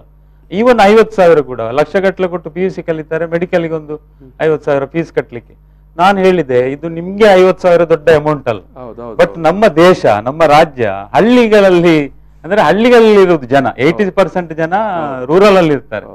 ಅವರು ಹಳ್ಳಿಯ ಒಬ್ಬ ಬಡವ ಐವತ್ ಸಾವಿರ ರೂಪಾಯಿದಲ್ಲಿ ಮನೆ ಕಟ್ತಾನ್ರಿ. ಹೌದು ಖಂಡಿತವಾಗಿ ಖಂಡಿತ. ಒಂದು ಮನೆ ಕಟ್ತಾನೆ. ನಮ್ಗೆ ಐವತ್ ಸಾವಿರ ರೂಪಾಯಿ ಇವತ್ತು ರಾತ್ರಿ ಹೋಟೆಲ್ಗೆ ಹೋಗಿ ಪಾರ್ಟಿ ಮಾಡಿ ಮುಗಿಸ್ಬೋದು. ಹೌದು ಹೌದು ಹೌದು. ಸೊ ಇದನ್ನ ಅರ್ಥ ಮಾಡ್ಬೇಕಲ್ಲ? ಸೊ ಯಾರು ಕೂಡ ಮಾತಾಡ್ಲಿಲ್ಲ. ವಿರೋಧ ಪಕ್ಷದವರು ಮಾತಾಡ್ಲಿಲ್ಲ. ಅಂದ್ರೆ ಅಂದ್ರೆ ಯಾರು ಮಾತನಾಡುವುದಿಲ್ಲ. ಯಾಕಂತ ಹೇಳಿದ್ರೆ ಎಲ್ಲಾ ಕಾಲೇಜುಗಳು ಮತ್ತು ಬಹುತೇಕ ಕಾಲೇಜುಗಳು ಒಂದು ಮಠ ಮಾನ್ಯ ಪೀಠ ಮತ್ತು ಈ ರಾಜಕಾರಣಿಗಳ ಕೈಯಲ್ಲಿರುವಂತ. ಹ್ಮ್. ಮಾತಾಡ್ತಾರೆ? ಇವರಿಗೆ ಮತ್ತು ಮೆಡಿಕಲ್ ಕೋಟಾದ ಸೀಟ್ಗಳು ಕೂಡ ಲಾಸ್ಟ್ ಇದರಲ್ಲಿ ಹೇಳಿದ್ದೆ ನಾನು. ನಮ್ಮ ರಾಜ್ಯ. ನಮ್ಗೆ ನಾವು ಹೆಮ್ಮೆ ಪಡ್ತಾ ಇದ್ವಿ. ಇಡೀ ದೇಶದಲ್ಲಿ ಮೊದಲ ರಾಜ್ಯ ಸಿಇಟಿ ಎಕ್ಸಾಮ್ ಅನ್ನು ಇಂಟ್ರೊಡ್ಯೂಸ್ ಮಾಡಿದ್ವಿ ವೀರಪ್ಪ ಮೊಯ್ಲಿ ಅವರು ಚೀಫ್ ಮಿನಿಸ್ಟರ್ ಆವಾಗ ಗೌರ್ಮೆಂಟ್ ಕೋಟಾದ ಸೀಟ್ ಎಷ್ಟಿತ್ತು ಗೊತ್ತಾ. Eighty five percent eighty five percent ಆವತ್ತು ಒಂದು ಕಾಲೇಜಿನ ಸೀಟಿನಲ್ಲಿ ಏಯ್ಟಿ ಪರ್ಸೆಂಟ್ ಸರ್ಕಾರದ ಸೀಟ್ ಆಗಿತ್ತು. Eighty five eighty five percent. ಈಗ ಎಷ್ಟಿದೆ? ಈಗ ಎಷ್ಟಿದೆ? ಈಗ non minority. Forty. Minority twenty five ಇದು ಒಮ್ಮೆಲೆ ಕಮ್ಮಿ ಆಗಿದ್ದಲ್ಲ. ಬೇರೆ ಬೇರೆ ರಾಜಕೀಯ ಪಕ್ಷಗಳು. ಅಧಿಕಾರವನ್ನ ಇಟ್ಕೊಂಡಾಗ ಕಡಿಮೆ ಮಾಡ್ತಾ ಯಾರು ಕೂಡ ಜಾಸ್ತಿ ಮಾಡ್ಲಿಲ್ಲ. ಎಲ್ಲರೂ ಕಮ್ಮಿ ಮಾಡ್ತಾ ಬಂದ ಅದು ನಲ್ವತ್ತ ಎರಡು ಇದ್ದದ್ದನ್ನ ನಲ್ವತ್ತು ಮಾಡಿದ್ದು ಒಬ್ರು ಈಗ ಇರುವ ಚೀಫ್ ಮಿನಿಸ್ಟರ್ ಅವರು ಹಿಂದೆ ಅಧಿಕಾರದಲ್ಲಿದ್ದಾಗ ನಂತರ ಇವರು ಬಂದ್ರು ಯಾರು? ಸಿದ್ದರಾಮಯ್ಯ ಬಂದ್ರು. ನಂತರ ಕುಮಾರಸ್ವಾಮಿ ಬಂದ್ರು. ಕಮ್ಮಿ ಮಾಡ್ಲಿಲ್ಲ ಅದು ನಲ್ವತ್ತೇ ಇದೆ. ಈಗಲೂ ನಲ್ವತ್ತೇ ಇದೆ. ಸೊ ನಲ್ವತ್ತೆರಡು ಇದ್ದದ್ದನ್ನ ನಲ್ವತ್ತು ಮಾಡಿದ ಏನು ಹಿರಿಮೆ ನಮ್ಮ ಈಗಿನ ಮುಖ್ಯಮಂತ್ರಿ ಅವರಿಗೆ ಸಲ್ಬೇಕು. ಸೊ ಇದಕ್ಕೆಲ್ಲರೂ ಕಮ್ಮಿ ಮಾಡಿದ್ದೆ ಅಂತ. ಸೊ ಈ ಹಿಂದಿದ್ದದ್ದು ಒಂದೇ ರಾಜಕೀಯ ಪಕ್ಷ ಕಡಿಮೆ ಮಾಡಿದ್ದು. ಫೀಸ್ ಕಡಿಮೆ ಮಾಡಿದ್ದಲ್ಲ. ಶಿಕ್ಷಕರಿಗೆ ಇವರು ಕಡಿಮೆ ಮಾಡಿದ್ದು ಕಡಿಮೆ ಮಾಡಿದ್ದು ಅಂತ ಹೇಳ್ತಾ ಇದ್ದಾರೆ ಅಂತ ಹೇಳಿದ್ರೆ ಫೀಸ್ ಕಡಿಮೆ ಮಾಡಿದಲ್ಲ ಫೀಸ್ ಕಡಿಮೆ ಮಾಡಿದಾಗ ಜಾಸ್ತಿ ಮಾಡಿದಾಗ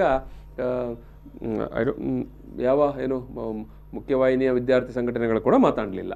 ಹ್ಮ್ ಮಾತಾಡ್ಲಿಲ್ಲ. ಅಷ್ಟು ಮಾತ್ರ ಅಲ್ಲ. ಈಗ ನಮ್ಗೆ ನಾಚಿಕೆ ಆಗ್ಬೇಕು ಕರ್ನಾಟಕ ರಾಜ್ಯಕ್ಕೆ. ಈಗ ಇಡೀ ದೇಶದಲ್ಲಿ ಅತ್ಯಂತ ಕಡಿಮೆ ಶೇಕಡಾವಾರು ಸರ್ಕಾರಿ ಕೋಟಾದ ಸೀಟ್ ಕೊಡುವ ಏಕೈಕ ರಾಜ್ಯ ಕರ್ನಾಟಕ.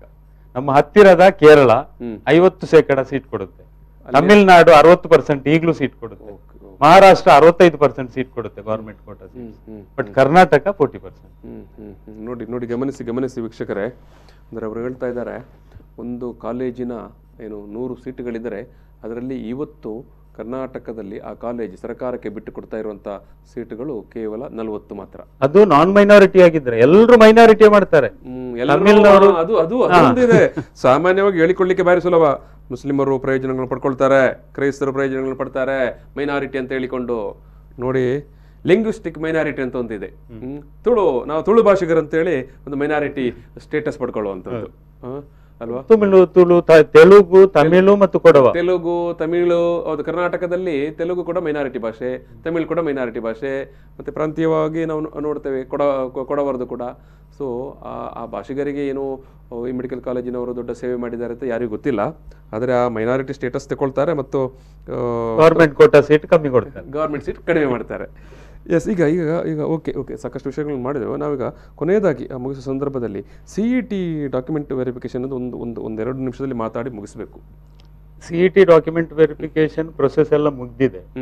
ಮುಗಿದು ನಂತರ ಒಂದು ನೋಟಿಫಿಕೇಶನ್ ಏನು ಬಂತು ಅಂತ ಹೇಳಿದ್ರೆ ಎರಡು ಲಿಸ್ಟ್ ಹಾಕಿದ್ರು ಕೆ ಅವರು. ಹ್ಮ್. ಯಾರೆಲ್ಲ ಡಾಕ್ಯುಮೆಂಟ್ ಅಪ್ಲೋಡ್ ಮಾಡಿದ್ದಾರೆ ಅದರಲ್ಲಿ ಡಾಕ್ಯುಮೆಂಟ್ ಯಾರದೆಲ್ಲ ಕರೆಕ್ಟ್ ಇದೆ ಒಂದು ಲಿಸ್ಟ್ ಅದು.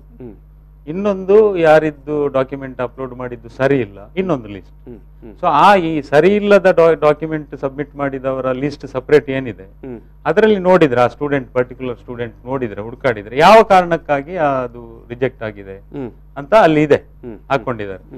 ಸೊ ಅದನ್ನ ಸರಿ ಮಾಡ್ಲಿಕ್ಕೆ ಇವತ್ತು ಲಾಸ್ಟ್ ಡೇಟ್ ಸೊ ಇವತ್ತು ರಾತ್ರಿ ಒಳಗಡೆ ಅಂದ್ರೆ ಟೈಮ್ ಹಾಕ್ಲಿಲ್ಲ ಟ್ವೆಂಟಿ ಸೆವೆನ್ ಅಂತ ಹಾಕಿದ್ದಾರೆ.